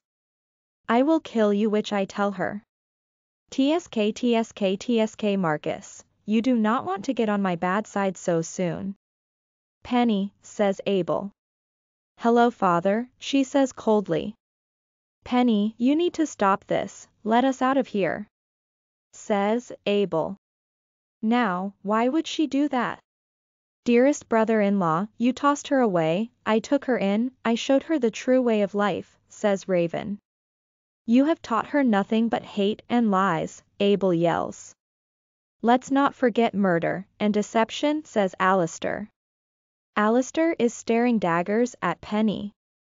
Who the hell are you? Raven asked him. Wait, said Penny, Aunt Raven, how do you not know who he is? Why the hell should I? She asked, Are you serious right now, Aunt Raven? Asked Penny. That man is my husband Alistair Kane, the same man who gave you your scars and killed my mother Penny tells her. Raven looks between Alistair and Penny. What? She says shocked. That is the man who you married? Asked Raven. That is the man you made kill his mate? She asks, Yes, that's Alistair, says Penny. Raven bursts out laughing. Jesus Christ, says Raven. Penny, that is not Alistair Kane. What? Yes, he is, that man is Alistair Kane, says Penny. I should know I am married to him. Raven stops laughing. I assure you witch I am Alistair Kane. Raven was in shock, her face pale. Let us out Penny now I order her. And no Raven stops her. You are not Alistair Kane Raven says. I will never forget the face of Alistair Kane, the Alistair Kane who left his message on me Raven said lifting her shirt to reveal the scar across her stomach that says Alistair Kane. Or the Alistair Kane who did this to my face she says waving her hands over her face to reveal her true self. Everyone gasps. You are right, I never did those things to you, I would never do that to a woman Alistair says. She was six years old when this happened to her says Penny. My God, says Alistair. I would never do that to a child. What the hell is going on here? Says Raven. You are not Alistair Kane. If you are not the Alistair Kane that did this to Raven, then who the hell is the Alistair Kane who killed my mother? Asked Penny. No one, my child, Martha says, entering the room. MOM? Penny says, yes, sweetheart. Penny faints. Martha yells Raven. How the hell are you still alive? How could you try to kill me Raven I am your older sister. Sister? Sister? You were never there for me, you wouldn't help me, what kind of sister lets her kid's sister be bullied? I did not let them bully you, I told you what to do, but you wanted to kill them with dark magic. That was not and is not the answer, Raven. ITIS always the answer, she screams. A fireball is thrown at the cage, setting one of our warriors on fire. Martha flicks her finger and the flames go out. Stop Raven, enough, it is over says Martha. Penny groans and comes to. Penny, are you okay? Martha asks. Mom, is it really you? How are you alive? Because Alistair Kane did not kill me my child Martha says. If you were not killed then where have you been all these years? Asks Penny. It was Raven Penny, Raven attacked me and tried to kill me, she thought she had killed me, and she framed Alistair Kane for it. Only she did not check my body, I was still alive only I had no memory of who I was or where I came from. Alpha Corvin Slater found and took me in, Raven used you Penny. It was you. It was you all this time. Says Penny. You made me believe Alistair killed her, I hated him you made me believe revenge was I had to do. Because of you I made an innocent man kill his wife and lose his sons, when this whole time it was you. Boo-hoo Penny, it is not my fault you got the wrong Alistair Kane, you are as pathetic as your mother. While Raven and Penny are arguing, Martha sneaks over and unlocks the cage freeing us. Raven throws Penny across the room, she hits the wall she does not get back up. All at once we all charge Raven, but she is faster than we thought as she uses her magic freezing us all in our tracks. Raven laughs. You stupid fools, you think you can defeat me? A bunch of useless dogs? End this now Raven, no one else needs to die or get hurt, you got what you wanted everyone else here is innocent let them go, says Martha. Shut up Martha, you should have stayed dead, you and these mutts will all die. Chloe. I am running through the dark, Nikita where are you? I enter inside the mountains running through the tunnel. At the fork in the road, I take the tunnel to the left, at the end of the tunnel I see a door, and keep running for it. I reach it and push through, it opens to the field on the other side of the mountain. I look around, Nikita. I run to her and drop down beside her, she opens her eyes, my body jolts and shakes. Oh, my god, Chloe. Says Harper.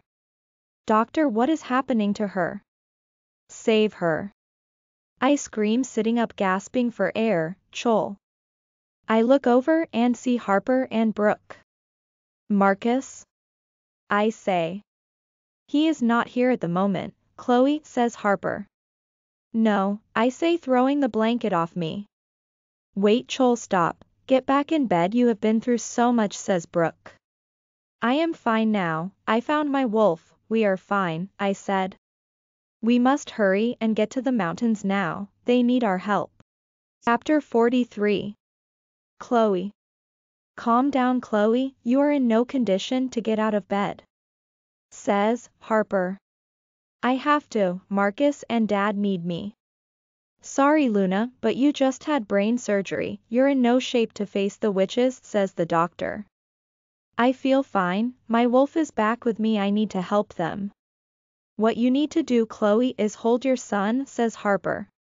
I froze, son? Did she say son? I look down at my stomach I am no longer pregnant. I had my baby. I ask. Yes, Luna we had to do an emergency C-section to save you and the baby, says the doctor. I watch as Peyton reaches into a hospital crib and lifts out a baby. My hands cover my mouth as I gasp. Here we are sweet boy, here is your mommy. Harper says placing the baby in my arms. My eyes fill with tears, I stare into my son's beautiful blue eyes. You're so beautiful my baby, you look just like your father, I say. Marcus, I have to help Marcus. I have to go save him. You need to look after your son Chloe, Marcus can manage himself fine. Says Brooke. No, you do not understand, Alex and my mom came to me, they told me I had to help them, they're in danger. If I do not go now, it will be too late I say. Wait, Alex, come to you? Brooke said. Yes, I am so sorry Brooke. I say. Is he dead? Asked Brooks. I am sorry Brooke, but yes Alex is gone. I have to go up there, that witch killed my brother, I need to go says Brooke. I will go with you child came a voice from the door. We all look up to see who it was, Brooke growls, what the hell are you doing here? Brooke yells at the man. Now Brooklyn is that any way to speak to your father? Save it Drake, you are not my father, you are a traitor, and dead to us says Brooke. Wait what is going on here? I ask. I can tell you that Luna Chloe, my name is Drake Porter, I am Brooke's and Alex's father, and I am going to need you to come with me he says. Doctor take her baby, Chloe will be coming with me now. The door opens and the death rotting smell of rogues fills the room. Marcus. The pain from the silver and wolfsbane is beyond anything I have ever felt. We must think of something fast to take this witch down before she kills us all. Martha, Abel, and Penny are huddled together in the corner. Penny cannot believe that all these years her aunt has lied to her made her believe her lies making her want to do the horrible things she did. She is so disgusted with herself for all she has done. Alistair has not taken his eyes off Penny, you can see how much hate he has for her in his eyes. He wants nothing more than to kill Penny for making him kill his mate and everything else she has done to him. If Alex and Alistair are the ones who hurt you, why have you done this to the rest of us? I ask, you already killed Alex, Penny already got even with Alistair, just let the rest of us go. That is not Alistair, Raven screams. For the last time, witch, I am Alistair Kane. You have black hair and blue eyes. The Alistair Kane who did this to me has brown hair brown eyes and a wolf skull tattoo on his shoulder, she says. So, you see, you are not Alistair Kane. Oh, my god. Says a shocked Alistair. That snake used my name to frame me. Who? Asks Abel. Drake, Porter. Did someone say my name? We all turn around. Drake Potter is standing there with a huge smile on his face. Alistair Kane, Raven yells. That is not Alistair, I am Alistair. That snake is Drake Potter. Says Alistair. He is right I am afraid. I am Drake Potter and you, you stupid witch will pay for killing my son Alex. You, you framed me, you good for nothing dog, Alistair says. Yes, I went to the warlock for help against you, he turned me down, when I was leaving, I saw his youngest daughter all alone, so I approached her and left a message for him framing you in hopes he would change his mind and kill you, but he got himself killed instead. How could you do that to a small child, and frame your alpha? I ask, easy, Quite easy boy, we were best friends Alistair, I was your beta. Then you turned your back on me stripped my rank and banished me, Drake says. I had no choice, you traitor, you double-crossed the council and your own pack, hundreds died because of you, said Alistair. So, all these years I have been hunting Alistair Kane when it was you, like father like son, says Raven. But here you are now, I shall enjoy killing you like I did your pathic weak son. Not so fast, witch, says Drake. Go ahead and finish killing them by all means, but then you and I need to talk about the stone, he says smiling. Alistair went to attack Drake, but was stopped in his tracks when Drake pulled Chloe into the room. CHLOE, I yell. Let her go, Drake or. Or what Marcus? Mm, what are you going to do? Keep in mind I can snap her neck before you reach me, and I have your baby as well says Drake. You sick son of a bitch, says, Alistair. I will rip your head off if you hurt my family. Two more guards enter the room pulling Harper and Brooke with them. Alex, Brooke cries when she sees his dead body on the floor. How do you know about the energy, stone? Raven asked. I know all about it, is all you need to know witch, says Drake. I see a smile on Raven's face. What is she planning now? Drake lets go of Chloe and takes a step more into the room. Chloe runs towards me, but I must stop her. No, stop Chloe no not touch us, we're covered in silver and wolfsbane. She stops in her tracks. You bitch, you did all this over something one man did to you back in high school? You tried to kill your own sister and framed another for your crime. You turned that innocent child into your own puppet for your own pleasure, says Chloe. There stands the real man who did you harm, and you allow him to live over those who did you no harm? Drake falls to the floor twitching and screaming in pain, Raven's eyes are black. Drake, if you think I would just give you the energy stone you're dumber than you look, you're the monster who destroyed my life, the one who made me this way.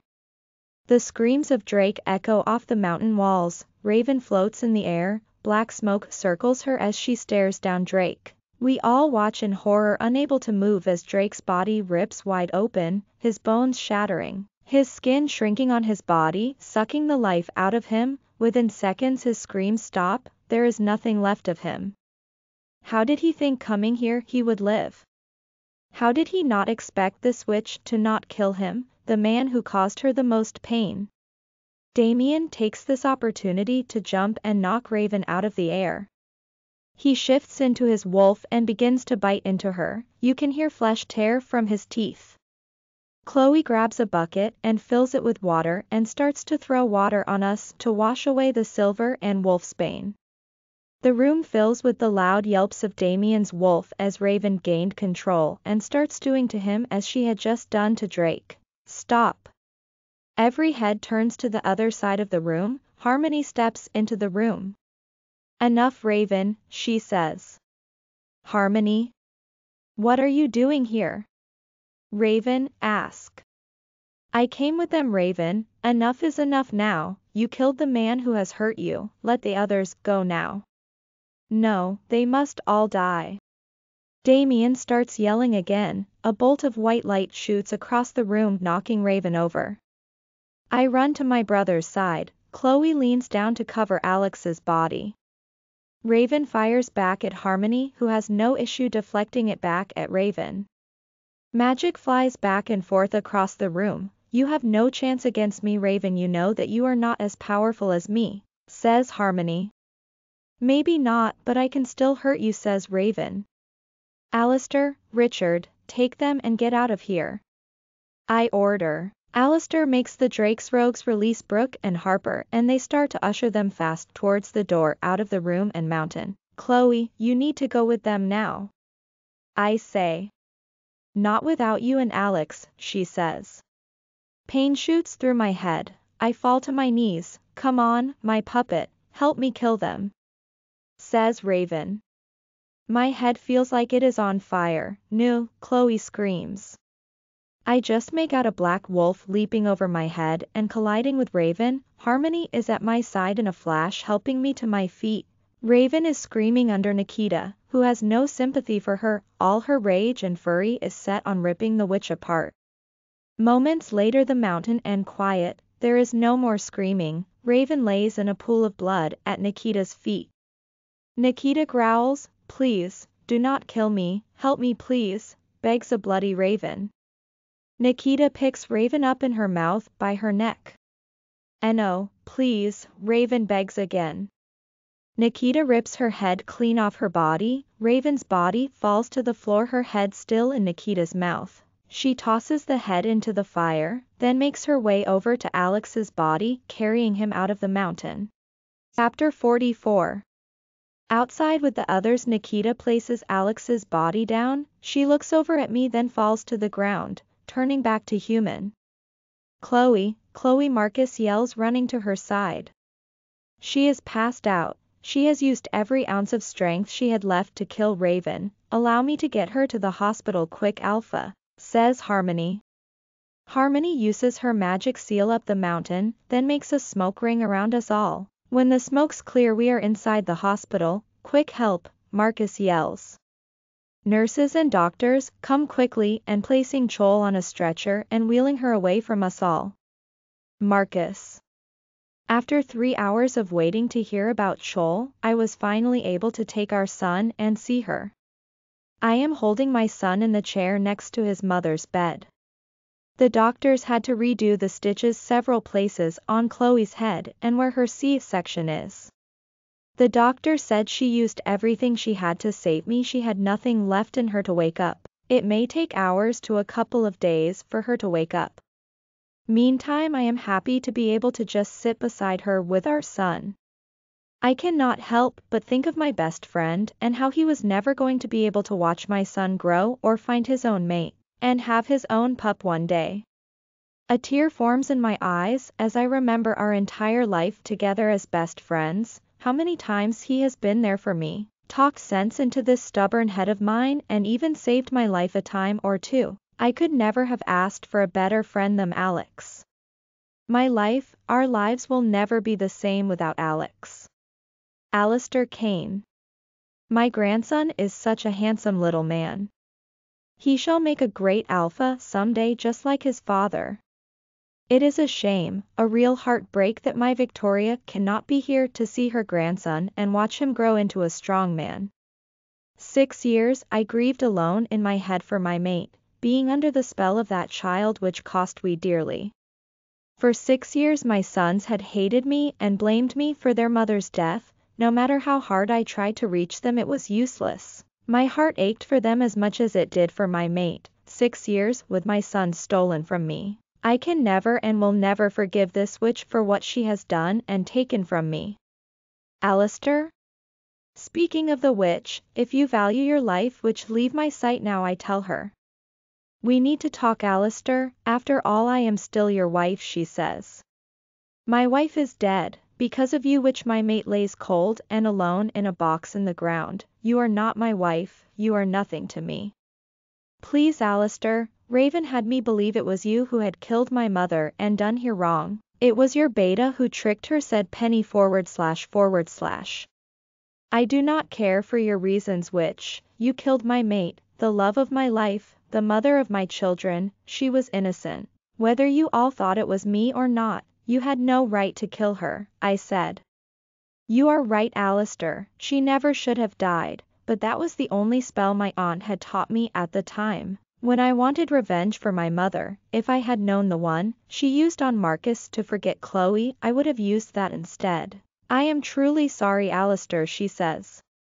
I do not accept your apology witch, I despise you, I want nothing more than to see you dead, or punished for your crimes, I say.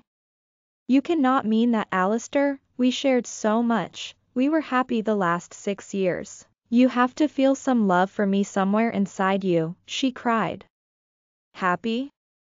I was never happy, I was dying inside, every day I tried to fight that spell and kill you, I would cry for my sons and wife. I never felt anything but disgust and hate for you, only the shell of my body you had the spell on was happy and loved you, not me, my soul, was dead inside. I am so sorry, what can I ever do to make you see how sorry I am and that the love I feel for you is real Alistair, she says. I could never love you, Penny you killed my mate. I yelled at her.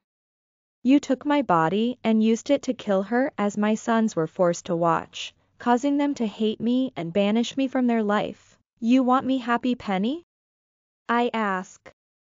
Yes, Alistair, more than anything she says. Then kill yourself, your death is the only thing that will make me happy. Tell her. How dare you tell my child to kill herself? I look at the door and see Martha entering.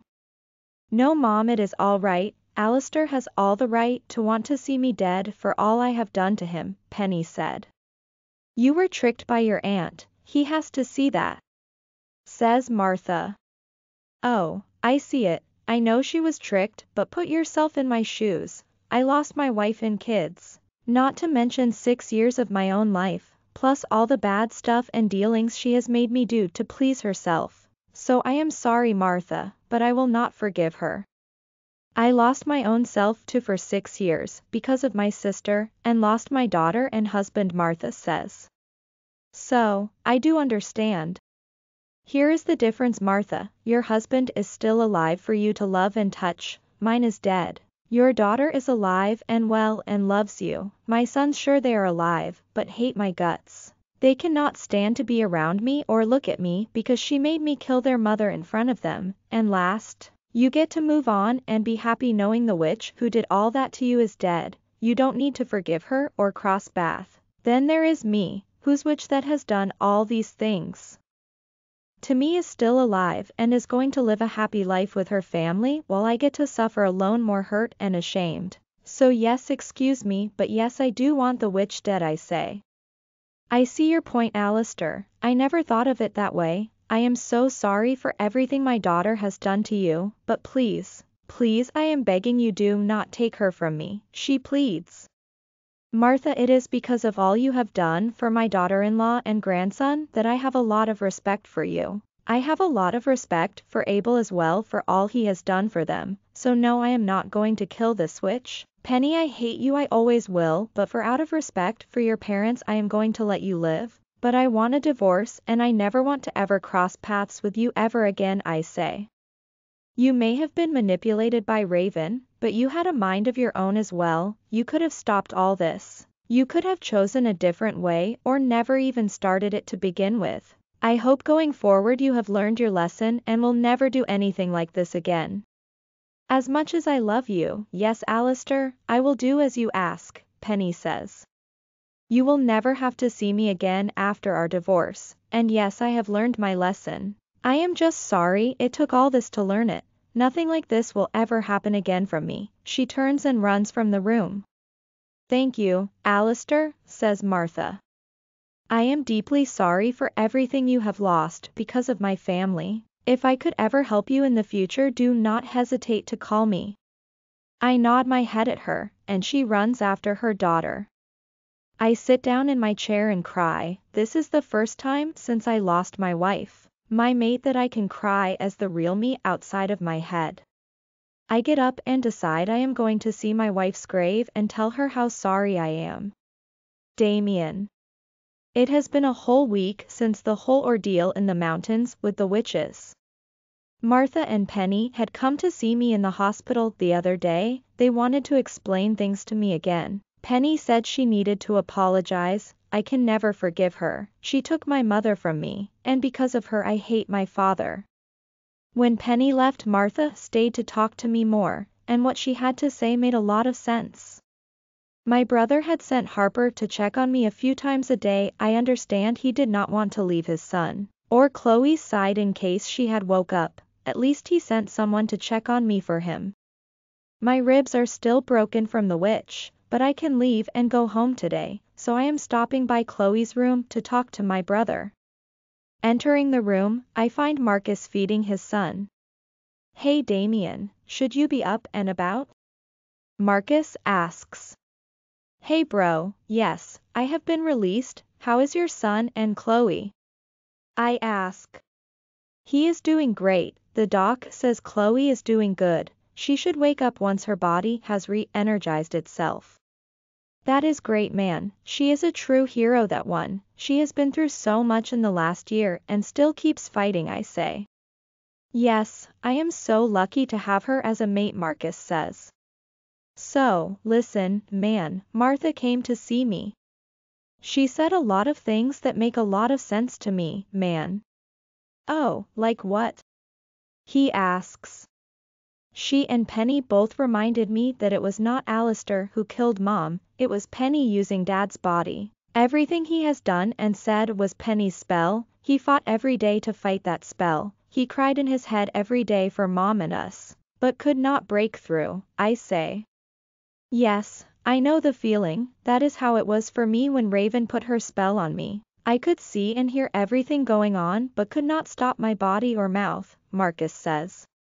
I think we need to sit and talk to Dad Marcus. We have to forgive what we saw, it was not him. We have to stop blaming him and fix our relationship with him, at least that is what I am going to do, I say. I agree Damien, it is time we get our father back, we know the truth now. Says Marcus. That is what Shoal had been trying to tell me all along. It's about time you boys figured that out. Came a weak voice. We both look towards Chloe and see she is looking at us with a smile on her face. She's awake. CHLOE we both say. Chapter 45. Marcus. Damien and I have made things right with our father. He is going to join his pack to mine and retire like he wanted to do six years ago. The house Chloe and I were having built before everything happened has finally been completed. Chloe and our son are being released from the hospital today. I have had the Omegas working hard on getting everything we picked for each room in and set up. I wanted to surprise Chloe when I take her home. Since the horrible death of Alex, I have made Alex my beta, he did not want to return to college anyway. Brooke has decided that she too did not want to return to college either, she wants to travel for a while and find herself again. Losing her brother was an extremely hard blow to her life. She will leave in a week to begin her travels. Today we will hold a funeral for Alex, he deserves a proper burial. Are you ready to leave, my love? I ask Chloe, entering the room. Yes, please, I need to get out of here. She answers. I take the baby who we still have not named, from her arms so she can get dressed to leave. Harper has picked out a black dress and shoes for you to wear to Alex's funeral, I tell her. Leaving the hospital, we head to the funeral services. There is not a dry eye in the house as the minister talks beautiful words about Alex. When Brooklyn takes the floor to talk about her childhood with her big brave brother, and how he had always been there to protect her from all the bad in the world, people started to cry louder. Their father was my father's beta, but when he betrayed my father, his pack, and all werewolf kind, he was cast out and took his wife and kids with him. Rogues killed their mother, and he turned to abusing Brooke. Alex took Brooke away from her abusive father when she was 11 and brought her back here. Alex was always protecting her, her whole life. When the funeral finally ended, Chloe wiped her eyes and embraced Brooke in a tight hug. When you are all done traveling, you come on home where you belong, little Alex is going to need his auntie in his life, Chloe tells her. Brooke had a shocking look on her face, then turned her head to the baby. You mean, you are naming him after my brother? She asked, Alex did a lot for me, Brooke, he was there for me when I needed him with all the Marcus stuff. He stopped me from taking my own life, and was even going to leave this pack with me, he was Marcus's best friend. There is no other person I would ever want to name my son after, Chloe says, a tear rolling down her cheek. Brooke leans down into the stroller and picks up little Alex. Alex would be so honored and happy to know you're named after him L.A. And as one of your aunties, I love you very much, I am going to spoil you so rotten, she says to the baby. How can I possibly travel now, when Eldata needs me to protect him? Little Alex is so blessed to have so many people in his life loving him, I say. Richard Brooks even has a surprise for Chloe of his own. Everyone is in on the reveal of the house and is helping me surprise her. Marcus, perhaps you will allow me to go first with my surprise. I am sure once she sees your surprise, that is all she is going to care about. Richard laughs. Sure Richard, let us start I say. Chloe honey can you come here please, everyone gather around please, Richard would like to say something I say. Everyone gathers around Richard, Harper, and Chloe in the center. Chloe since the day I met you, you touched my heart.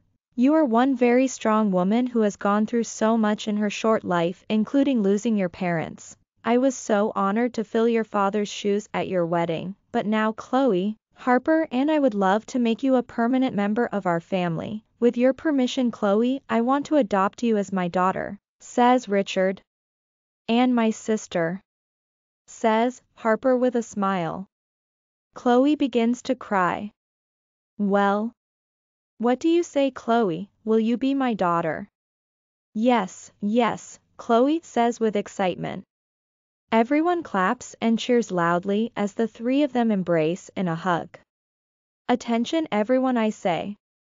The last year has been hell on each of us, for Damien our father and me the past six years have been hell. I am happy to announce that things between my father have been mended. My father Alistair Kane and his pack will be joining our pack as Alistair retires, but remains close to his family. With the horrible death of Alex, and I gone and made my brother Damien my next beta. He could never replace Alex, but I am sure he will be a great beta, I announced. And last, before all the chaos of the last year Chloe and I had begun to build our own home. We had wanted to have moved in it by Christmas, but seeing of that did not happen. Chloe my love it is with great honor I give this to you I hand her a small box. With a bright smile on her face. Chloe opens the box, a key? She says looking at me confused. If you will all follow me, please, I take a blindfold and tie it around Chloe's eyes. I lead everyone up to where we had our house built. Once we reach the front of the house I stop, Chloe, I want you to know how much I love and appreciate you. You are more than just my mate, you are my wife, the keeper of my heart, the other half of my soul, the mother of my son. You complete me in every way. So while you were healing in the hospital I went ahead and did this I said reaching up, and removing the blind fold from her eyes then step aside. Chloe's gasps, her hands flying to cover her mouth, her eyes so big. Oh my god, you finished our house, she says jumping into my arms. I put her down, she runs to the front door and uses her key to unlock the door for the first time. Everyone wipe your feet, she says, then enters her house. Everyone laughs and follows her in. For the next three hours Chloe entertains her pack and family in her new house. This is a happy day, other than the sad depart of burying our dear friend and family member Alex. To finally be able to live free without the fear, to have mended relationships, to new beginnings, and new family. I could not be happier and so honored my son Alex will have each and every one of you in his life guiding him. I love you all. Says Chloe. After everyone leaves, Chloe and I rock our son to sleep. I am sorry I did not discuss the name of our son with you Marcus. I hope you are not upset with me? She says, of course, I am not mad baby, I could not think of a better name for him I said. Alex has always been a big part of my life, it is so hard, it is not the same without him, but now I have a part of him with me always in little Alex I say. Chloe kisses me softly, yes, we do she says kissing little Alex's nose. Twenty years later. Today I step down and hand over the alpha rank to my son Alex Knight. I cannot be any prouder of the man he has become. He is going to be one hell of an alpha. Hurry up, you are going to be late for your own alpha ceremony. I'm coming old man sheesh, says Alex. Where is mom the twins, and Corvin? He asks. They are helping your mate get ready, we should head down. I answer. Yes, that's right more children, I am happy to announce Chloe and I have twin 15 year old daughters Coral, and Victoria, and a second son 13-year-old Corvin, named after our mothers and her father. Alex found his mate the night he first shifted it turned out to be his junior high girlfriend Catherine, that he has been with since they were 11, he said he always knew she was his mate and well he was right. Ladies and gentlemen, it is with great pride that I announce your new Alpha and Luna, Alex and Catherine Knight. The air echoes with cheers and howls. I walk over to Chloe as Alpha Alex addresses his pack for the first time. Well, my love, we are officially retired, I say. From the pack duties my love, but not parent duty, we still have the twins and Corvin to look after and watch finish growing. She reminds me. Oh, I know dear three more weddings before we are free. I laugh. Chloe smacks me playfully. Do not be marring off my children just yet, mister, it is bad enough my little Alex is married and an alpha now, she says, a tear rolling down her face. It seems just like yesterday I brought my little Alex home, where we rocked him to sleep in his room for the first time, I am not ready to let him go completely yet Marcus, he is still my baby she says. I watch as her eyes are proudly on our son. Do you think your mother my parents and Alex is watching on right now and are proud of the man little Alex has become? She asks. Most defiantly my dear, they are as proud as we are I say. When the ceremony is all over and the dancing begins, I take the hand of my wife and step out onto the dance floor where we dance the night away. Chloe. In the past 20 years I have been so happy and at peace. Harper has found her mate Jake Green a wolf lawyer from Alistair's pack that had joined ours. She has given me two little nephews and a niece. Dad has retired and passed his pack down to his beta's oldest son and has moved here to our pack. Our whole family is here living together. Damien has also found his mate April, they're on baby number 5 now, yes 5 the horn dogs. Brooke never did travel, she changed her mind she said she could not leave little Alex he was hers to protect. She took a collage course here and became a teacher, she has taught all our children. Martha and Abel visit with us every holiday, they are incredibly special to me, it is because of them my baby lived. And we were able to beat the witches. Sadly no one has heard from Harmony, but according to Martha that is how Harmony is, she will be found again when she is needed. Every once in a while I catch her scent towards the mountain, I know she is close and watching over us all. Okay my handsome husband, I think it is time to check out of this party and check into our own upstairs, I say wiggling my eyebrows at him. You do not have to ask me twice baby he says pulling me towards the house. Slow down dear we have to at least say our good nights, and tells the girls they have an hour left before bed and I want to make sure Corvin is sleeping first, I said. Once we make our rounds, Marcus lifts me over his shoulder like a firefighter and runs towards our room. Once we hit our room, the poor dress I had on never stood a chance. Next day. In the last 20 years once a week I would come here to Alex's grieve and talk to Alex. I miss him dearly. It has been 20 years, but I still cry all the time for him. The wind blows and a lily lands on my lap. I smile as I pick it up and smell it. Thank you, Alex. I return home and place the lily into my keep sake book with all the other lilies that had landed on my lap every time I would visit Alex. I kept them all in here. Everything okay, Mom? Asks Alex coming into the room. Everything is perfect little Alex, everything is perfect. I say closing the book.